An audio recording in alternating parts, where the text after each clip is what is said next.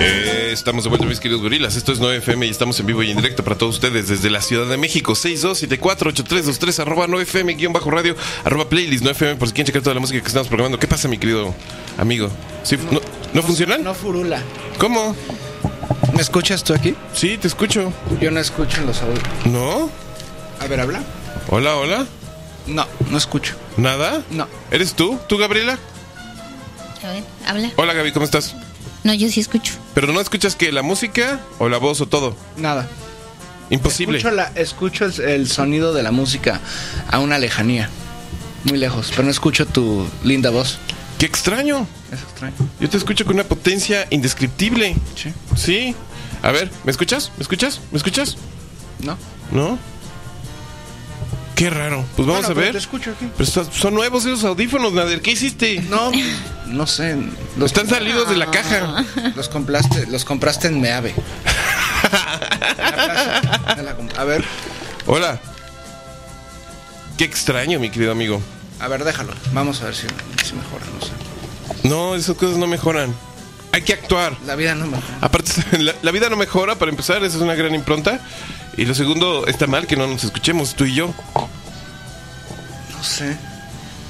A ver, habla. Hola, hola, mi querido Nader. ¿Cómo estás? Sí te escucho, pero muy bajo. ¿Muy bajito? Sí. ¿Tú, Gaby, a qué ve- volumen? No, yo te escucho bien. Con claridad. Sí. Qué raro. La vida es extraña. La vida es extraña. ¿Cómo estás, Gabriela? Bien, ¿y tú? Bien, bien, bien. ¿Qué tal amaneciste? ¿Qué tal tu tarde? ¿Cómo estás? ¿Qué nos cuentas? Amanecí incómoda. ¿Por qué? No sé.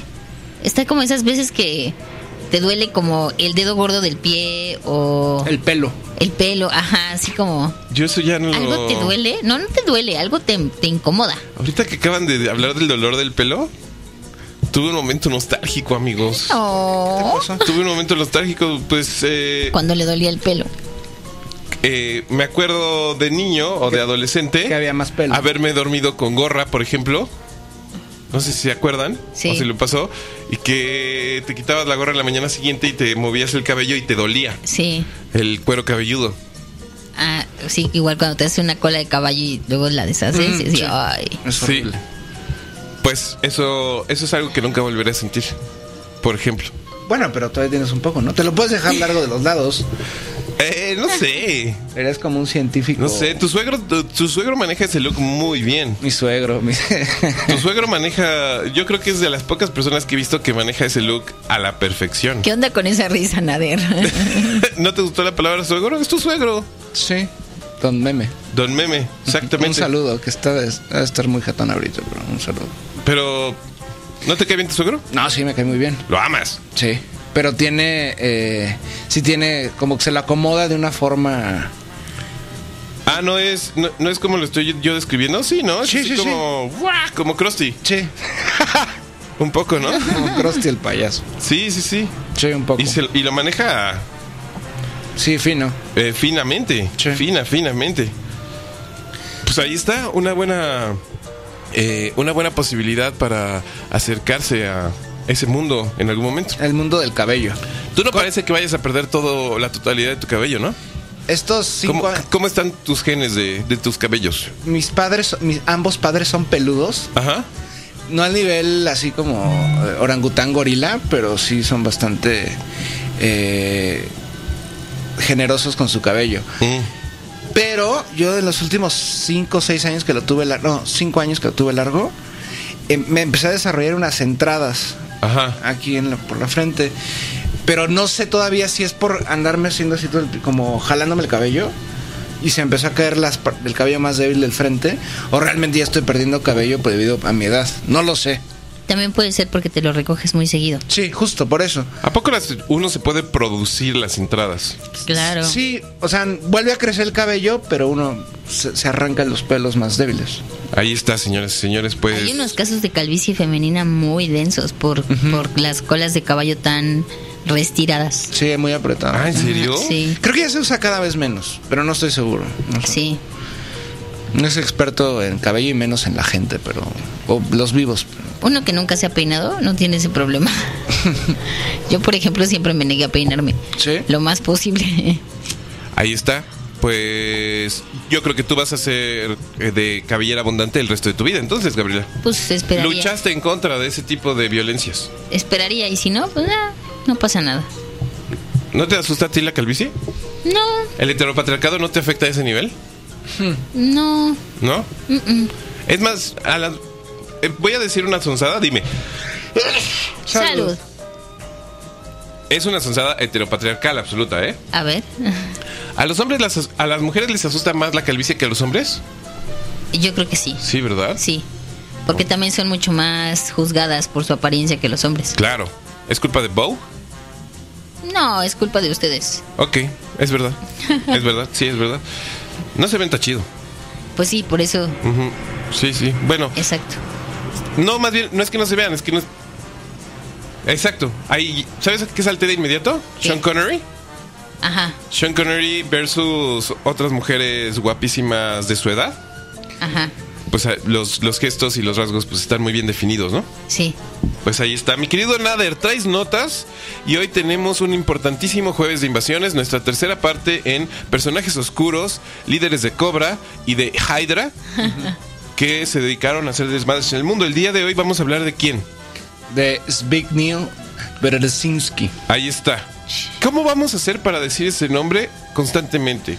O sea, Zbigniew Bre- Yo, aunque no se pronuncia su apellido, Brzezinski, creo que es lo más fácil. Brzezinski. Ujú. Pero creo que se pronuncia Bre-. Bueno, no lo, algo vamos a, así. no lo vamos a pronunciar bien, Sí. nunca. Pero le podemos decir Bresinski. Bresinski. Sí. Bresinski suena razonable. Sí. Suena manejable, suena algo que podamos estar repitiendo a lo largo de este programa. Eh, venimos de dos sesiones dedicadas al señor Henry Kissinger.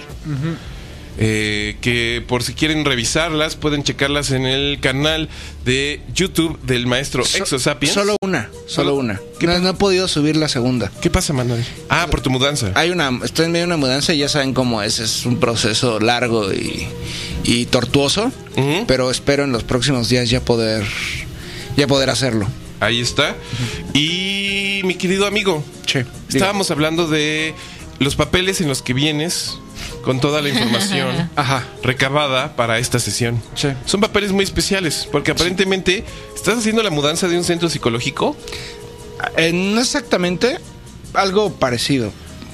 Ligeramente parecido. Ahí está, pero est- hiciste todos tus apuntes para darles ese toque ya característico psicótico Musical. película de El silencio de los inocentes. Ahorita le vamos a sacar una foto a las Ajá. notas de Cristian. De cabeza para que no. De cabeza para que no no revelar puedan- demasiado. Exacto. Eh, lo hiciste en pruebas psicométricas. Sí, bueno, esto no. Hice, eh, por ejemplo, vamos a voltear este. Dice. Ah, sí, mira. Tipo de terapia, fecha, observaciones, elaboró. Nombre del alumno. Luego, por ejemplo, esta otra dice. eh, motricidad gruesa. Boca abajo, levanta momentáneamente la cabeza. Boca abajo, gira hacia arriba la cabeza. Eso es para los bebés. Sí, creo que sí, sí, sí. Pero ah, encontré un, en todo ese tambache de hojas de reciclaje que me regalaron, encontré unas pruebas psicométricas. Ah. Entonces empecé a resolver, pues, no, no tenía nada que hacer. Y había uno, ¿se autolesiona? Sí. Y empecé a llenar todo así. Sí, Sí, sí, O sea, sale- va a salir el peor, el peor, ¿cómo se llama? Es el peor prospecto para cualquier labor o para cualquier cosa. ¿no? Muy bien. Entonces, eh, hace rato, platicando con Gaby, eh, me no sé por qué salió el tema de las pruebas psicométricas. Bueno, justo por esto. Y me acordé cuando te hacían las pruebas psicométricas de que dibujaras a personas y a tu Sí. familia y todo eso. Pero a ti te, te dijeron que dibujaras a tu papá y a tu mamá. Me dijeron que dibujara, me acuerdo de esa, supongo que más, a mi familia. Ah. Entonces me acuerdo, yo dibujo muy como trazos muy, Ajá. como muy, no, no rectos. Ajá, no Me una sola línea, sino varias. Sí, sí, sí. Entonces, eh, no sé por qué luego salió que eso podía ser an- de ansiedad. Ya es que así es la psicología más Ajá. barata, ¿no? Más cutre. Entonces, eh, y luego justo lo que decías, ¿no? Que si no le pones pie, a la Sí. distancia del tamaño que es. A ver, mi querido Nader, ¿te puedo pedir un favor? ¿Puedes dibujar a tu mamá y a tu papá? El tamaño, el tamaño este de las. cuaderno? El tamaño No, de no las lo digas figuras. porque se va, se va a prejuiciar. Ok. Pues le estamos eso- haciendo eso- una, una prueba Pero eso ya lo sabe. Sí, yo ya lo sé. Ya Ah, lo entonces no, sabe. no hagas una prueba en pos de que digamos que eres sano porque sabemos que eres falso. O al revés, no lo hagas especialmente eh, perturbado. solo para asustarnos. Más bien piensa en otra cosa, mi querido Nader. Eh, me ¿Por qué te hicieron pruebas psicométricas de niño? ¿Eras un niño qué? No, no era un niño problema, pero ya ves que cuando se divorcian los padres siempre está el fantasma de que el niño está afectado, ¿no? Sí, claro. yo lo viví. Entonces, pues, obviamente te Son lleva. preguntas muy incómodas, ¿no? Aparte, y son constantes. Uno cuando es niño no sabe qué decirle a un adulto Che, para explicarle más o menos así como, no, bueno, está chido, ¿no? Ajá, o sea, sí. todo fine conmigo. Fue, fue duro, estuvo medio loco. Sí me acuerdo de cosas medio densas, pero denme chance un rato, ¿no? No, no, ¿qué necesitas? Apoyo, no sé qué. Sí, justo. Te sientes vulnerado, no sé qué. ¿Quién te tocó? Ustedes hablen, yo hablo, ha- ¿Quién hago mi obra de? ¿Quién te tocó? Ah, sí. Wow. Y tu cara, Gaby. La única vez que alguien me dijo quién te tocó fue una vez que mi mamá dibujo muy feo, eh, por cierto. Sí, no, no te preocupes. Eso habla. ¿Qué dice de ti en tu prueba psicométrica, por ejemplo? Qué silencio. ¿Qué- En qué? fin. No estoy No, concentrado en Concéntrate, obra. concéntrate en tu dibujo mientras yo les, En mi les portada. cuento cuando una vez mi mamá despidió a una señora que tra- una muchacha que trabajaba en nuestra casa Ajá. y la muchacha como que le insinuó al Hola, mamá. Pero bueno, en fin, este es, así es este programa, esta es la naturaleza de este programa. Eh, Bueno, a ver, dibuja. como que Dibuja a mi padre. Ahorita, A ahorita. Y a tu madre ahí al lado, mano, Es por que- favor. Pero en la otra página, para que no esté ahí influenciada por... No, no, no, no. No, no. tiene que ser- ¿Tiene que ser al lado? Ah, bueno. Sí. Eh, y entonces como que la chica está... Yo la recuerdo muy fugazmente, francamente. Como Ajá. que le insinuó que teníamos una relación muy cercana ella eh, y yo. Y mi mamá se asustó mucho y se preocupó porque ¿Una es muy buena doméstica? madre, ¿eh? ¿Una trabajadora doméstica? Sí, eh, y porque es muy buena madre mi madre y muy leona con respecto a su, A a su guarida y sus, y sus cachorros. Y, y me acuerdo que sí tuvimos una conversación así que, me, que, que fue así como de, de mucha preocupación y de mucho eh, de mucha aprensión por parte de mi mamá en términos de si, si, si esta señora había de alguna manera Te había tocado. tocado, que yo en ese momento no entendía muy bien a qué se refería mi mamá, porque evidentemente no había pasado nada. Bueno, no evidentemente, sabemos que pasan mucho este tipo de cosas, Ajá. pero yo En entendía muy bien, entonces... Las, oscura- las, las historias oscuras del hogar. Ajá, pero y como que le... Como que mi mamá me hizo un par de preguntas, algo así, recuerdo. Ujú. Pero yo no tenía idea bajo ninguna circunstancia a qué se estaba refiriendo y todo pasó y después a la distancia con los años y después de ver películas traumatizantes y pues leer cosas eh, traumatizantes de la misma manera Ajá. me di cuenta que esa conversación que tuve con mi mamá había sido una conversación en términos de si la, ¿qué te ríes? si la No señora Cristian, ¿qué te pasa? Estoy dibujando una cosa monstruosa. eh, si, si, si estaba hablando de de si- Ah, si Cabe hemos- aclarar que yo creo que nunca había escuchado a, a Cristian reírse tan sinceramente. No, yo tampoco. Fue muy hermoso, ¿verdad? Sí. Fue muy hermoso. Pero Una bueno, en fin, carcajada. esa es mi historia. ya me aburrí. es- esa es mi historia de, de cuando de cuando mi mamá tuvo una conversación de posible abuso conmigo. En fin, Oye, tenemos una camada de psicólogos reales, de psicólogos de la vida real allá en la Fuerza Gorila. Vamos ahorita a subir una foto de del dibujo de Cristian y que por favor nos digan qué ven ahí. al final del programa te late, Gabriela. Tú y yo daremos nuestro diagnóstico Perfecto. y mientras Súper lo, profesional. lo subimos a Instagram, Ajá. lo subimos a Twitter Exacto. y vayan soltando sus diagnósticos de esta prueba psicométrica que le hicimos al señor Cristian Nader. La instrucción fue dibuja tu familia. Dibuja tu familia. No sé, cuando, cuando a los niños les piden dibuja a tu familia, ¿les piden dibujarse a sí mismos? Ese es una, supone que es Ah. un rollito. Pero vamos a hacerla más fino para que tenga un punto a favor. Ahí está. Un sol feliz. Ahí está la prueba psicométrica del señor Cristian Nader. La vamos a subir a redes en unos minutos. No se desesperen. Mientras tanto, señoras y señores, es jueves de invasiones. Aquí en su 9FM de confianza. Pónganse cómodos. Vamos a estar hablando del señor Brzezinski. Bresinski. Que hablando de familias, su hija es como reportera de, de NBC, eh, NBC News o algo así. Ajá. Entonces es muy extraño porque una vez lo entrevistó a su propio padre. A su propio padre. Ajá. Wow. Bueno, es una, es- esas historias de periodistas son muy raras también, ¿no? ¿En qué, ¿Cómo qué? O sea, ¿se acuerdan cuando, digo, en una cosa, eh, en extremo, en, en otro extremo temático, cuando Iker Casillas fue entrevistado por su novia después de ganar la Ah, Copa del claro. Mundo? ¿No le pidió matrimonio ahí? No, la besó así. Ella estaba, Ah, ahí supió, ahí ella supo el estaba mundo. tratando de ser un poco más profesional. Dijo, ¿cómo te sientes? No sé qué. Estaba acá en su papel de super reportera. Y el otro así vuelto loco en, en- por el triunfo. Dijo, ah, sí, beso. ¿Sigue siendo su novia? Pues que se casaron, creo, ¿no? Pues ojalá, ¿no? Qué bonita historia de amor. Ah, Ah. Ok. ¿Tú no crees en el amor o qué, Nader? Sí, creo en el amor. Entonces. Dentro y fuera de las canchas. Ah, Qué bonito. En fin, señores, señores, acomódense, agárrense. Muchísimas gracias a toda la gente que se está comunicando. Muchísimas gracias a toda la gente que se puso en contacto. Estamos muy al pendiente. Ahorita mismo subimos en Twitter esta prueba psicométrica que le hicimos al señor Christian Nader para que le den un diagnóstico de su personalidad, de su relación con su familia, de su relación con el universo, de su relación con él mismo, evidentemente. Y regresamos en un segundo. Algo que tengamos que tener en cuenta con respecto al señor Bresinski, mi querido amigo. Ahí Pues- yo, yo voy a estar muy a ciegas porque sí es una figura que voy a empezar a conocer ahora. Aunque no lo creas, eh, ¿Ya la conoce? él ya falleció, pero por ejemplo Kissinger lo rebasó.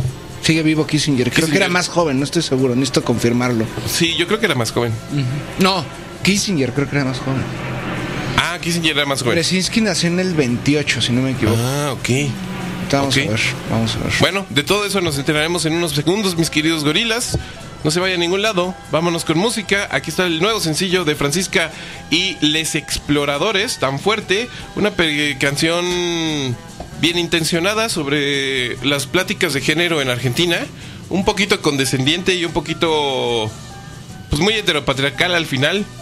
Porque pues básicamente la invitación de un grupo de hombres a, unas- a un grupo de mujeres a rebelarse y a acompañarlas para que no se asusten. Pero pues la tonada está buena. Chequenla. Cala la letra, Gaby. Sí me gustaría platicarla contigo. Ya la oí, yo te la mandé. Está, está muy es- está medio ma- está medio mal ubicado ahí el Sí. el poquito. apoyo, ¿verdad? Un poquito, sí. Ah, pues ahí está, señores, señores. Esto es 9FM. Todo menos miedo. Comunícate. Teléfono en cabina 6274-8323. Twitter arroba no FM guion bajo radio. Facebook diagonal todo menos miedo. Instagram arroba no FM guion bajo radio. Eh, Estamos de vuelta, mis queridos gorilas. Esto es 9FM y estamos en vivo y en directo para todos ustedes. Tenemos ya nuestro fondo sonando de grandes genios del mal del siglo XX norteamericano. Gente detrás de entre, eh, de entre telones, gente detrás del escenario, gente, los Puppet Masters, los Masters of Puppets. La gente que se dedicó a armar desmadres por aquí y por allá en pos de conseguir eh, a medias a veces, o muy a medias o completamente ineficientes a veces, eh, los objetivos comerciales, internacionales, políticos de los Estados Unidos. Comenzamos esta serie con el señor Henry Kissinger, afamadísimo hooligan del mundo, y saltamos a el territorio del señor B. Le voy a decir al señor B. El señor B. El se- a partir de ahora, para mí, el señor. Nada, cuando diga el señor y Bresinski. me quede en silencio, tú tienes que decir su nombre completo. Ok, El señor Brzezinski. Bresinski, para mí va a ser el señor B. Ok, le decían eh, eh. Es igual de complejo. Igual de complejo. Eh, no, el señor B, el señor B. eh, ¿Quién es el señor B, mi querido amigo? ¿De dónde viene? Eh, ¿Con quién comienza a trabajar? ¿Cuáles fueron sus rutas? ¿Dónde se formó? ¿Cuál era su idea del mundo que le gustaría delegarle a su hija periodista de CNN? ¿Por qué estamos hablando de él? ¿Por qué estamos hablando de él? ¿En qué medida ha afectado nuestra vida? Cuéntanos. Estudias o trabajas. Etcétera. Sí, todo, todo, Etcétera. todo. ¿Cuál es su cuenta bancaria? Buen prospecto. eh, amable y amoroso con su familia. eh, protector territorial. Un hombre celoso. Era muy, era muy celoso de Kissinger. A ver, a ver, pues por ejemplo, todo ese tipo de datos los necesitamos ahora, Bueno, a la habla- mano. ya. hablando de Mussorgsky, eh, que está, está sonando en este momento, la familia de Brzezinski proviene de... Él nace en territorio polaco, pe- pero su familia proviene de un pueblo que pre- precisamente está, está en este momento en Ucrania. en territorio ucraniano. Brzezinski nace en el 28. Y de hecho esto responde a, a la duda que teníamos. Este Kissinger es 5 años mayor que él. Ahí está. Entonces, al ¿En igual... dónde nace? Perdón. Él nace en Varsovia. Varsovia. es polaco, nacimiento. Uh. Ujú. Gente golpeada por la vida, ¿eh? Y de hecho ellos lo ven como... dic- dicen que... Bueno, la- obviamente el sector, digamos, de la derecha polaca considera a Brzezinski, a Walesa, es Walesa, Walesa, Ajá. y a este Karol Wojtyla como los tres polacos más eminentes del siglo XX. De hecho, los tres se conocieron. Vamos a llegar a eso tarde o temprano. Eh, de hecho, su, pa- su, su familia era, digamos, una familia, no podríamos decir casi casi de la aristocracia polaca, pero sí acomodada. Su padre era un funcionario, un alto funcionario polaco, y es nombrado cónsul de Polonia en el 38, cuando eh, Brzezinski tenía 10 años. Entonces emigran a Canadá, el servicio del gobierno polaco, y justamente pocos meses después va a ocurrir la invasión del Tercer Reich a Polonia y que va a llegar al pacto con la URSS y el territorio polaco se va a dividir. Entonces, desde ese momento, eh, Brzezinski tiene como un odio así, enfer- pero así enfermizo, en contra de la Unión Soviética y en contra del comunismo. Pero los detesta así, casi casi Fíjate qué, qué cercanía en términos de formación emocional con Kissinger. Kissinger. Otro anticomunista absoluto. Sí, sí, sí. Eh, de hecho, él- eh, parece ser que él desde, desde niño se, se fragua la labor de destruir a la URSS. Es- y va a ser una de las personas que destruye a la URSS. Si hay alguien, algún culpable de la disolución de la URSS externo a la Unión Soviética, es este personaje. Entonces, eh, de hecho se construyen muchas leyendas. Como estos personajes, obviamente es muy difícil acceder a su vida privada, más allá de sus memorias, etcétera. Eh, él, por ejemplo, se, se construyó la leyenda de que su familia, en el ex, bueno, no en el exilio, bueno, sí en el exilio, porque estaba su país ocupado, empieza como a, con los contactos que mantienen en su tierra natal polaca, tratan de rescatar judíos, ¿no? Entonces como Ajá. que se, se, se fraguó esta leyenda, eh, esta leyenda a favor de Brzezinski que en los últimos años ha salido que es falsa, o sea, que pues, no, hicieron absolutamente nada por rescatar judíos. Entonces, por supuesto me refiero a rescatar judíos porque pues, Polonia, un tercio de la población era judía y fue- la mayoría fueron exterminados durante eh, la Shoah. El punto es que eh, cuando está en Canadá estudia, estudia la- una licenciatura y posteriormente eh, va a emigrar a Estados Unidos, pero primero, es, por ejemplo, estudia un máster en artes. Eres- En artes. En artes, ajá. Ok. Pero se empieza a especializar en la URSS, en la URSS, pero en la URSS primigenia, digamos, en la URSS de Lenin y la URSS de Stalin. O sea, como que su labor, mm, más que nada para disectarla, para conocerla y entenderla y saber cómo derrotarla. Ajá. O sea, realmente cuando les digo que su labor fue destruir a la URSS, eso quería hacer este tipo. Entonces se empieza a vincular, por supuesto, con, eh, con los altos poderes de Estados Unidos, porque emigra y estudia, acaba estudiando en Harvard. Eh, y es- ahí hace su tesis justamente sobre esto, sobre la URSS primigenia y cómo, vaya, él va a ser uno de los, digamos, los que van a desarrollar este concepto del totalitarismo. Antes de esto esa- ese concepto no existía. Se podría decir que era un, es un imperio, bla, bla. Eh, el punto es que eh, en el 58 se naturaliza gringo, pero previamente él había trabajado, lo reclutan para trabajar en algo que tal vez sí hayan escuchado, creo que ya, ya- ya lo hemos mencionado aquí, que se llama Radio Free Europe, No. Radio Free Europe, claro. Ra- Radio hay, una, Europa Libre. hay una famosísima canción de R.E.M. eh, al respecto. Bueno, para que no sepa quién es Radio Free Europe, eran una unas estaciones que estaban eh, localizadas en diversos puntos de Europa Occidental con gran potencia que intervenían las señales de radio de Europa Oriental, o sea, los países del Pacto de Varsovia, Rumania, República Checa, Hungría, bla, bla, bla. El punto es que obviamente transmitían ilegalmente, interferían con la, con la radio de los países socialistas. ¿Y qué hacían estos, qué hacían estas estaciones de radio? Pues más allá de transmitir propaganda estadounidense todo el tiempo y demonizar el comunismo, también transmitían música, bla, bla, bla, ¿no? Entonces, posteriormente, luego sale otra que se llama Radio Liberty.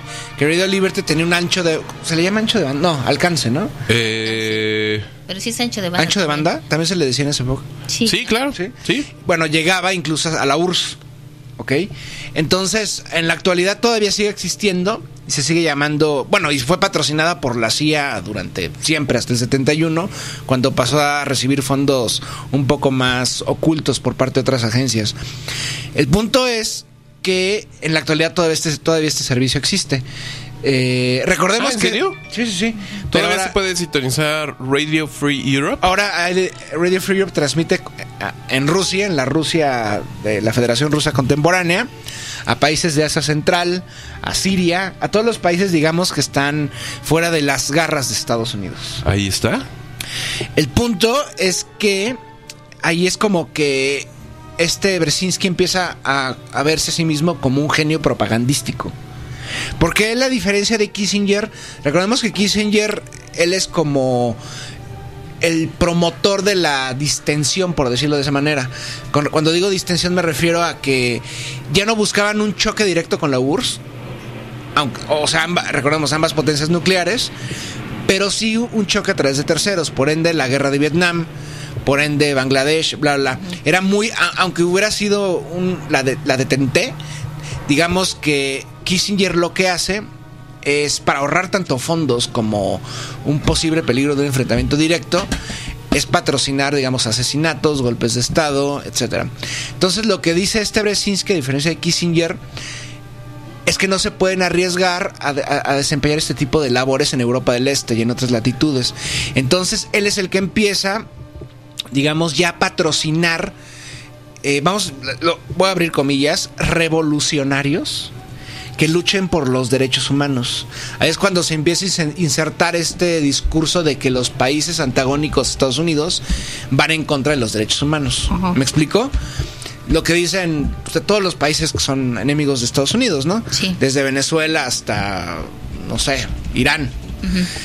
El punto es que con el paso de los años, lo que van a empezar a hacer es patrocinar ya no a dictadores o, no, o patrocinar a, a, a- a mi- a milicias. Va a ser patrocinar a grupos de universitarios, a grupos callejeros, grupos en el exilio, etcétera. Porque es, además de que es más económico que una guerra directa, es como más, eh, digamos, va a ser más efectivo.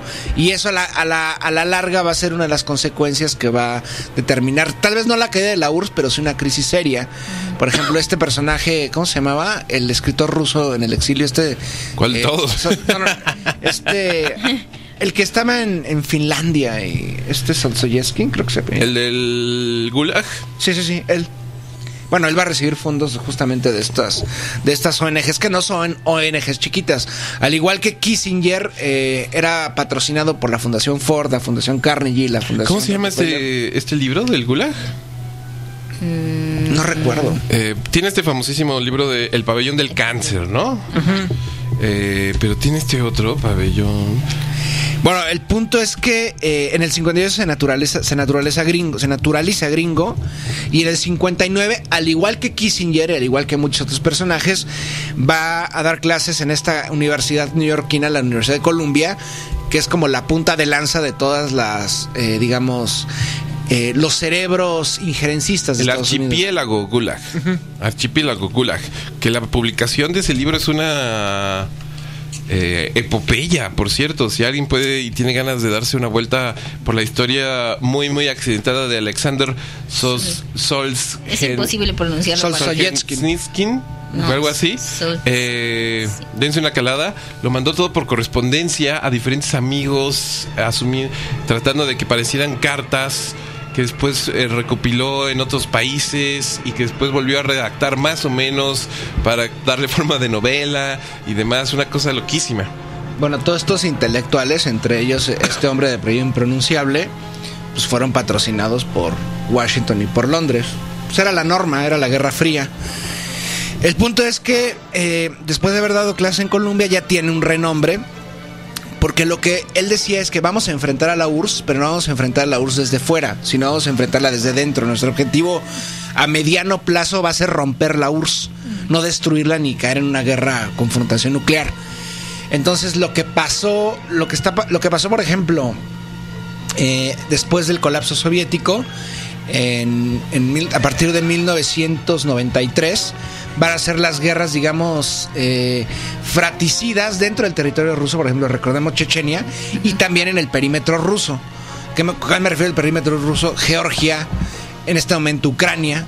Por ejemplo, lo de Ucrania, que Crimea es, es, absorbida por, por Moscú. Este Brzezinski ya lo había vislumbrado hace pues, 30 años. ¿Por qué?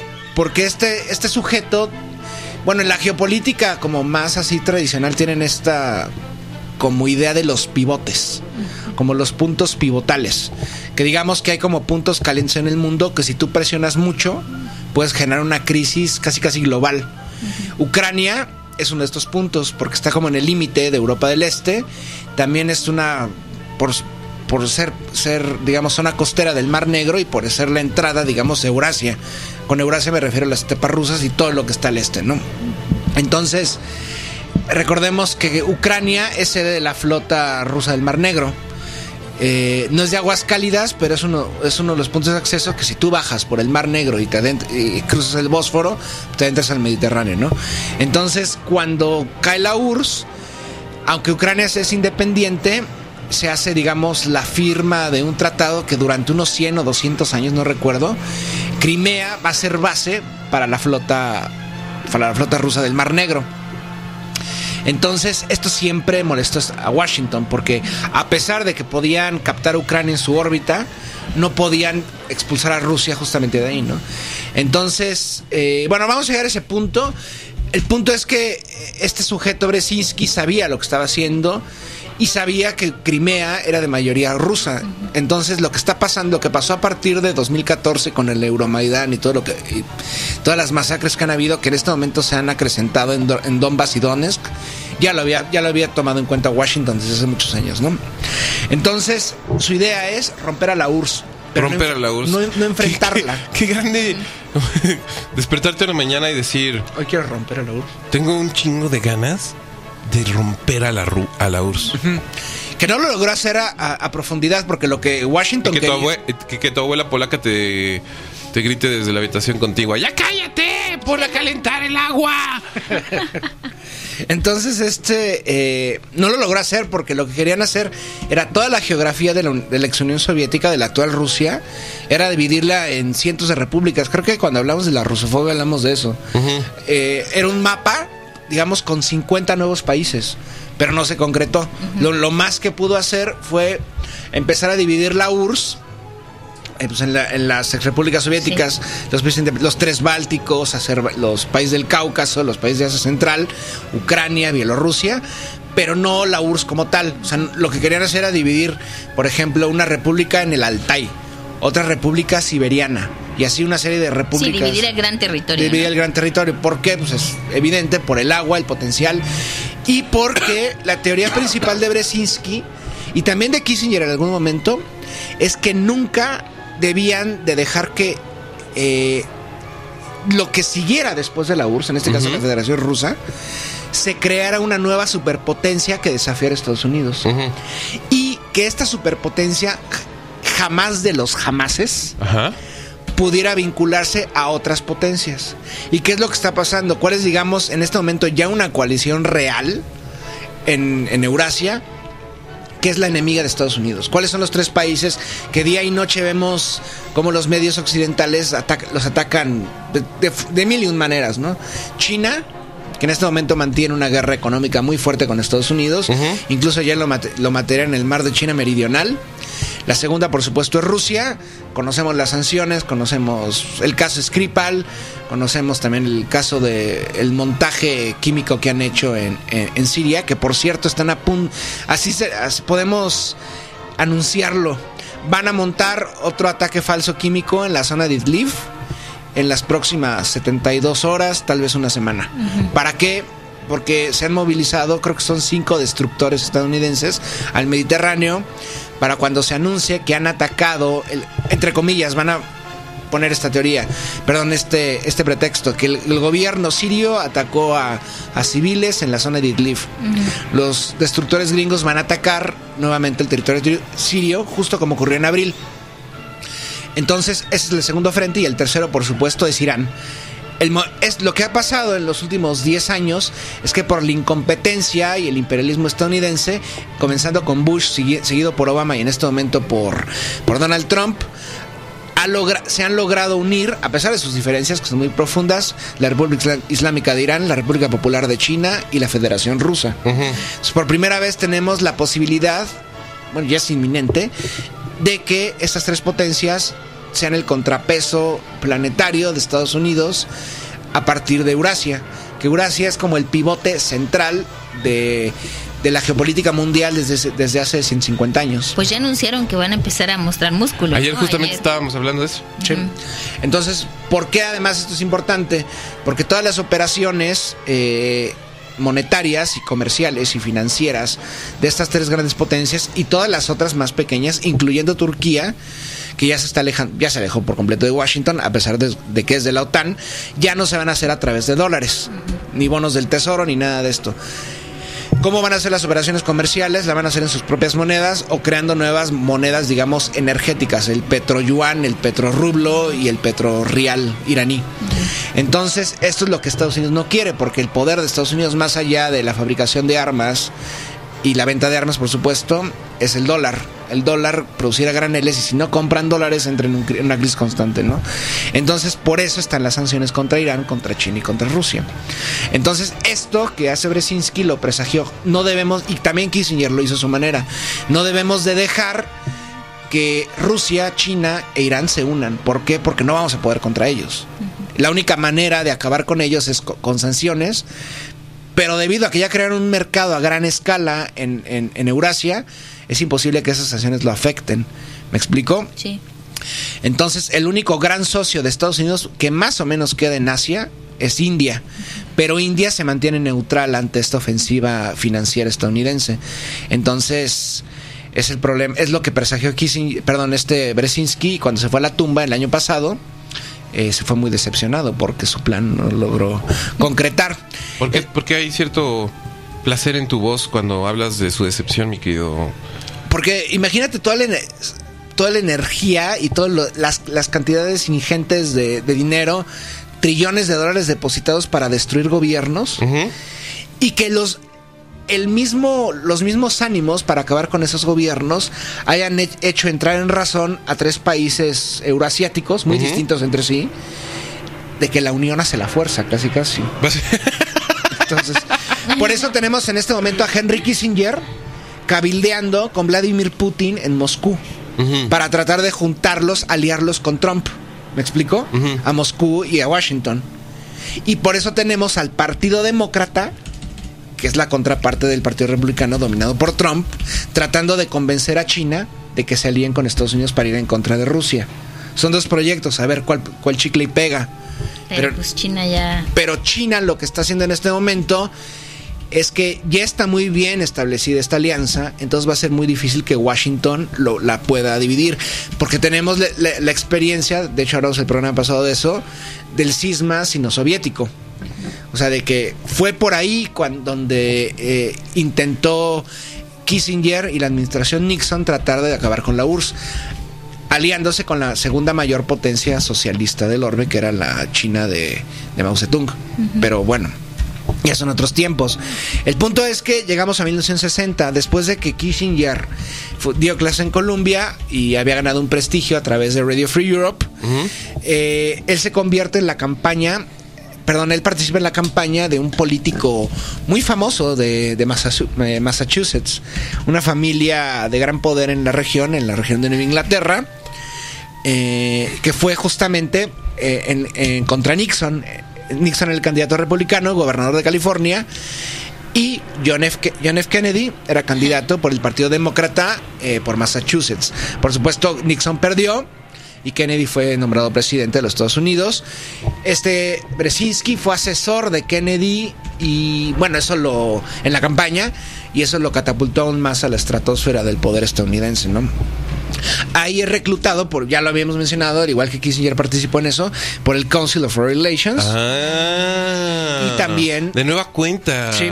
Ese grupo de sensuales hombres y mujeres eh, blancos. Malditillos. Entogados, cantando en tonos graves en abadías abandonadas con antorchas. Y también en lobbies por todo el mundo. haciendo rituales orgiásticos extraños. Entonces, además de que participa en el Council of Foreign Relations y escribe en Foreign Affairs, también trabaja en este, bueno, trabaja, es reclutado por el, digamos, el grupo Bilderberg, el mismo grupo del que hablamos la semana pasada, que gira toda esta trama conspiranoica en, en, torno a ellos, pero que a fin de cuentas son un grupo eh, de octogenarios decrépitos y periodistas de buen ver, etcétera, que se reúnen para tratar de dominar al mundo, ¿no? Entonces, pero de hecho hay muchos errores aquí en la, en la, hay un, hay un gran primer error de Brzezinski que lo va a poner como en decadencia frente a, a, a Kissinger. ¿Cuál es?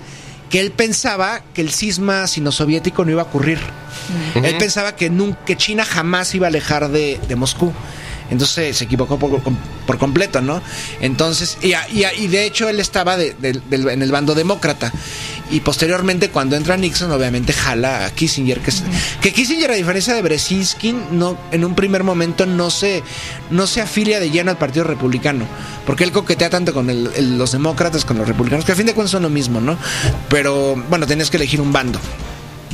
Entonces, eh, en 1964, estamos hablando de 20 años antes, él viaja a Polonia. Y él empieza ya a planear el proyecto de lo que se va a convertir en Solidaridad. ¿Qué Solidaridad? Recordemos ese sindicato que, que en Polonia a finales de los 70 se alza en contra de, del gobierno socialista polaco y en su mayoría está integrado por, por trabajadores católicos. Este Lech Walesa era uno que recordemos después toda la infinidad de, de, de corrupción que hubo detrás de este sindicato. Y por supuesto, eh, este Brzezinski empieza a inyectar fondos y muchísimo dinero al sindicato Solidaridad, ¿no? Que a la postre Lech El Walesa... sindicato. Solidaridad. Qué hermoso. Lech Walesa es el que se va a convertir en el, presi- el prim- en el primer presidente de Polonia. Claro. Y al mismo tiempo, eh, este Brzezinski eh, mantiene buenas relaciones con el Vaticano y ahí es cuando se acuerda que uno de los siguientes papas, por supuesto, va a ser de Europa del Este. Y deciden que va a ser Karol Wojtyla. Porque él es muy amigo de este... ay, ¿cómo- es- no recuerdo cómo se llama este... Creo que lo apunté por aquí. Bueno, él es muy amigo del cardenal polaco que digamos eh, era muy importante en Polonia y en el Vaticano. No recuerdo cuál era el nombre del cardenal, pero fue, fue digamos, era uno de los cardenales de mayor poder en, en- en toda Europa Central. Pero bueno, el punto es que comienza a planear solidaridad en el, en el, en el 64. Y en el 66, la administración Johnson, recordemos que el presidente Johnson Lyndon Johnson. Lyndon Johnson es el quien sucede a Kennedy después de su asesinato. Él lo recluta como asesor de política externa. Todavía no como... a- Asesor. De Este es, el, este es el momento en donde el señor B ya entra a la Casa Blanca. entra a la Casa Blanca. Pero todavía no como el, digamos, asesor directo, el presidencial, el famoso, el que nombran. Sí, claro. No, no. Este es como un asesor de menor grado que va a estar, digamos, tratando de cabildear a favor de sus proyectos, ¿no? Y en 1973 funda la Comisión Trilateral. Ya hemos hablado de eso, que Kissinger participa, pero como recluta. Este Brzezinski participa directo. ¿Qué es la Comisión Trilateral? Bueno, al igual que se funda, digamos, eh, un- la OTAN, por decirlo, Ajá. existe la, una faceta cultural, pero que no, es nada más a nivel atlántico, es digamos a nivel internacional, donde se agrupan las tres principales zonas económicas, de- tecnológicas y culturales dominantes del mundo, que es precisamente la Comisión Trilateral. Una es Occide- eh, perdón, eh, América del Norte, la América anglófona y francófona, que es Estados Unidos y Canadá. La otra es Europa Occidental, por supuesto Inglaterra, Francia, Alemania, eh, Aleman- la Alemania Occidental, por supuesto, Italia, y la otra es Japón. Entonces deciden hacer un grupo conjunto con tres, con tres, digamos, estas tres potencias para ir en contra del socialismo a nivel global. Ok, ok. Eh, son think tanks, que son los think tanks? Son grupos de trabajo eh, de multitud de niveles que trabajan universitarios, billonarios, eh, corporaciones, bancos, etcétera. Ajá. Justamente trabajan en proyectos conjuntos a nivel global para ir en contra de pues, la amenaza que en aquel momento es la amenaza socialista, ¿no? Ok, ok. Entonces, eh, ahorita estamos viendo cómo escaló los peldaños Brzezinski. Posteriormente nos vamos a adentrar en sus políticas destru- Sí, claro, claro. destructoras. Pero para ubicar esas políticas hay que ubicar también sus caminos oscuros, sus caminos del Señor. Sí. Entonces, ¿qué ocurre? En esta comisión trilateral ad- admite a un gobernador que está causando, no furor, pero ya se empieza a vislumbrar como un, un posible candidato presidencial en, en el futuro. Me refiero a Jimmy Carter. El famoso Jimmy Carter. Entonces recluta al reverendo Carter. ¿Por qué le dicen reverendo? ¿Si era reverendo? Creo ¿O que más bien tenía, por su actitud. tenía mucho conocimiento de las sagradas escrituras, Benjamín. Bueno, es que él es un niño crecido en una estructura eh, religiosísima. Le faltó un niño de bien. Eh, y era un muy ni- era un- sigue siendo un niño de súper bien, fíjate. Y todavía está Por eso, por eso no, por eso no ganó su segundo periodo electoral. De los pocos presidentes de Estados Unidos que siendo relativamente buen pedo, no ganó su ¿Estás seguro de eso? Relativamente buen pedo. Dije re- dije relativamente. Ah, bueno, relativamente sí. Lo suficiente buen pedo y lo suficiente mal pedo para ganar las elecciones en Estados Unidos, pero era. él le gustaba el rock, construía casas, lo sigue haciendo. haciendo. Se le fue de las manos una crisis de rehenes para no. por no poder tener. no tener el corazón frío para mandar matar a todo mundo dentro de ese edificio. Una cosa, pues es. No te cae bien, ¿verdad? No, mandó la. Bueno, lo vamos a mencionar al rato, pero mandó la una operación de rescate. Que fue un fracaso absoluto. O sea, un helicóptero chocó contra un avión de rescate. O sea, en pleno aire. El gobierno, o sea, estamos hablando de Es un errores. trabajo muy difícil. Es un trabajo muy difícil. Y tan, ta- o sea, obviamente se le celebra mucho a Kissinger, a Brzezinski, pero ninguno de estos dos personajes pudo contemplar que el país más importante, el socio más importante de Estados Unidos en Asia, de los más importantes, como, como era la, el, eh, el Irán del Shah de Irán, de Reza Pahlavi, se les fue de las manos, nunca lo contemplaron y de la noche a la mañana perdieron Irán y perdieron todo el petróleo iraní. Ajá. El punto es que eh, después de haber sido asesor de, de- de este, el presidente Johnson, que fue es, eh, eh, este Brzezinski trabajó directamente en el Departamento de Estado. O sea, empezó ya a manejar, digamos, dentro de la estructura del llamado. Ahora, ahora recibe el nombre del Deep State, del Estado Profundo estadounidense. Empieza a conocerlo y empieza a fraguar alianzas con los generales y con los grandes empresarios de las, de las grandes industrias de armamentistas. En el 76, ¿qué ocurre? Eh, tras, tras el escándalo Watergate de la presencia de Nixon y tras un periodo de Ford bastante gris, accede Jimmy Carter, un, presidente demócrata después de, de una- un repulsivo periodo de este Nixon ¿no? y de Ford. Entonces Jimmy Carter lo nombra, le devuelve el favor, tú me nombraste miembro de la Comisión Trilateral, me apoyaste y me, me influiste mucho. Pues ahora yo te nombro asesor de seguridad nacional. Entonces ya tiene el mismo papel que Kissinger tuvo en la administración de, precisamente en la administración Ford y en la administración Nixon. Entonces entra a suplir a Kissinger vía quién?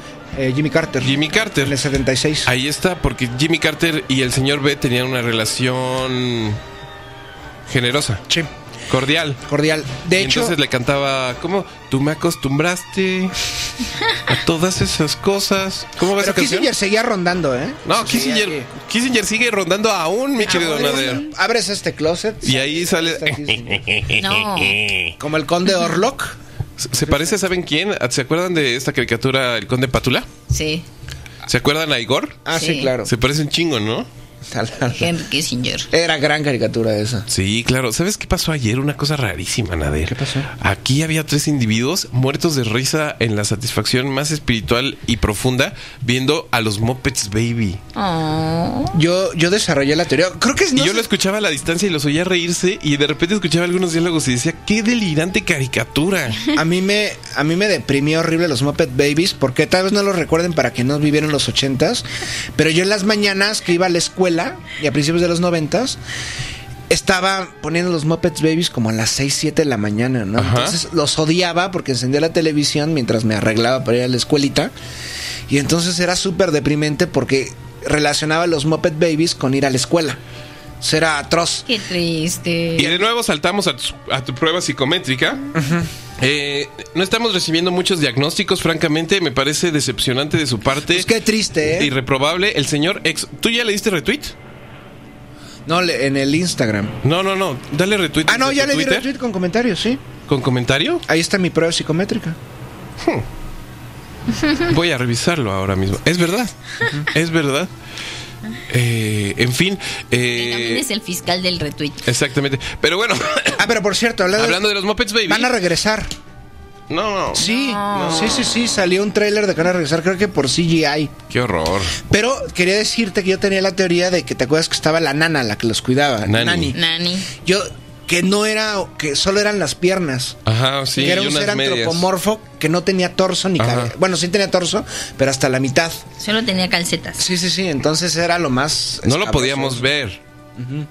Digo. Porque estábamos a la altura de los Muppets Baby. Ajá. No, yo desarrollé la teoría de que solo era un, un torso con parte de los brazos. De nueva cuenta, regresamos a tu prueba psicométrica. ¿Qué dice eso de ti, de tu extrañísima infancia?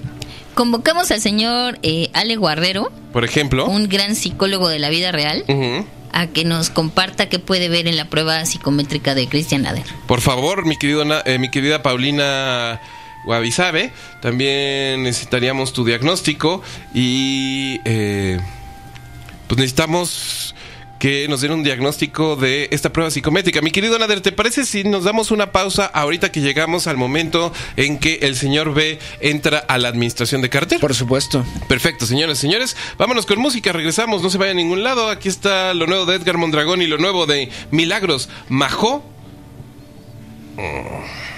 ¿Qué pasó? Tengo que resolver algo. Pero no se preocupen, todo va a salir bien. Mientras tanto, escuchen esto de Edgar Mondragó, Pleamar, no FM, todo menos miedo. Eh, Estamos de vuelta, mis queridos gorilas. Esto es 9FM y estamos en vivo y en directo para todos ustedes desde la Ciudad de México. Estamos hablando de El Señor B. Va de nuevo, mi querido amigo. Esto es como el señor Thompson. Creo que le están hablando a usted, ¿verdad? Se va a convertir en una dinámica Cuando le así. pise el pie, señor. Entonces, Nader, cuando yo haga así, ¿escuchaste? sí. Tú vas a decir el nombre como se debe decir. O bueno, su cercanía, ¿va? Sí, adelante. Estamos de vuelta, mis queridos gorilas. Esto es 9FM y estamos en vivo y directo para todos ustedes desde la Ciudad de México. Seguimos hablando de genios oscuros del mal, masters puppets de la política internacional, armamentística y bélica de los Estados Unidos, colonial y- e imperialista. ¿Neocolonial o colonial? ¿Tú qué me lo dirías? Pues es cuestión de gustos. Ahí está, señoras y Nunca ha señores. dejado de ser colonial para ser neocolonial, ¿no? Mm, sí. Exacto. Sí, nada más es más, más fresquecita, ¿no? El colonial sería como novedoso, pero. Sí, sí, sí. Eh, la política colonialista y e o más bien e imperialista de los Estados Unidos. Estamos hablando del señor B. El señor Vázquez.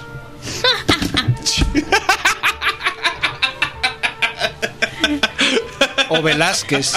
Del señor Velázquez. También podríamos decirle el señor Velázquez. ¿Quieres decirle el señor Velázquez el resto del programa? Sería muy extraño. Sería sí. extraño, sería extraño. La gente empezaría a pensar en un hombre bigotón, panzón, no sé por qué, por mi prejuicio, evidentemente. El señor Berezinski. y mi y mi capit- y mi clasismo, pero bueno, el señor B. Ah, Bresinski. no puede ser. Berezinski. Yo como soy hija del conductismo, respondo así como pinche perro de Pablo, güey. Qué increíble. En fin, señores y señores, esto no está planeado. Fue de verdad una, una circunstancia. Pero en fin, mi querido amigo, estamos en el momento en que el señor B. Bresinski. Ahí está, eh, cruza las puertas de la Casa Blanca de la mano del señor Jimmy Carter. Ajá. Y uno de sus primeros, por ejemplo, eh, grandes logros, entre comillas, va a ser el los acuerdos de Helsinki, donde la Unión Soviética y varios países europeos van a como a tratar de llegar a un acuerdo para respetar las fronteras. ¿A qué me refiero con esto? De que, digamos, no va a haber como lo que ocurrió en Hungría o Checoslovaquia, que se respeten las fronteras aunque sean países aliados, ¿me explico? Claro.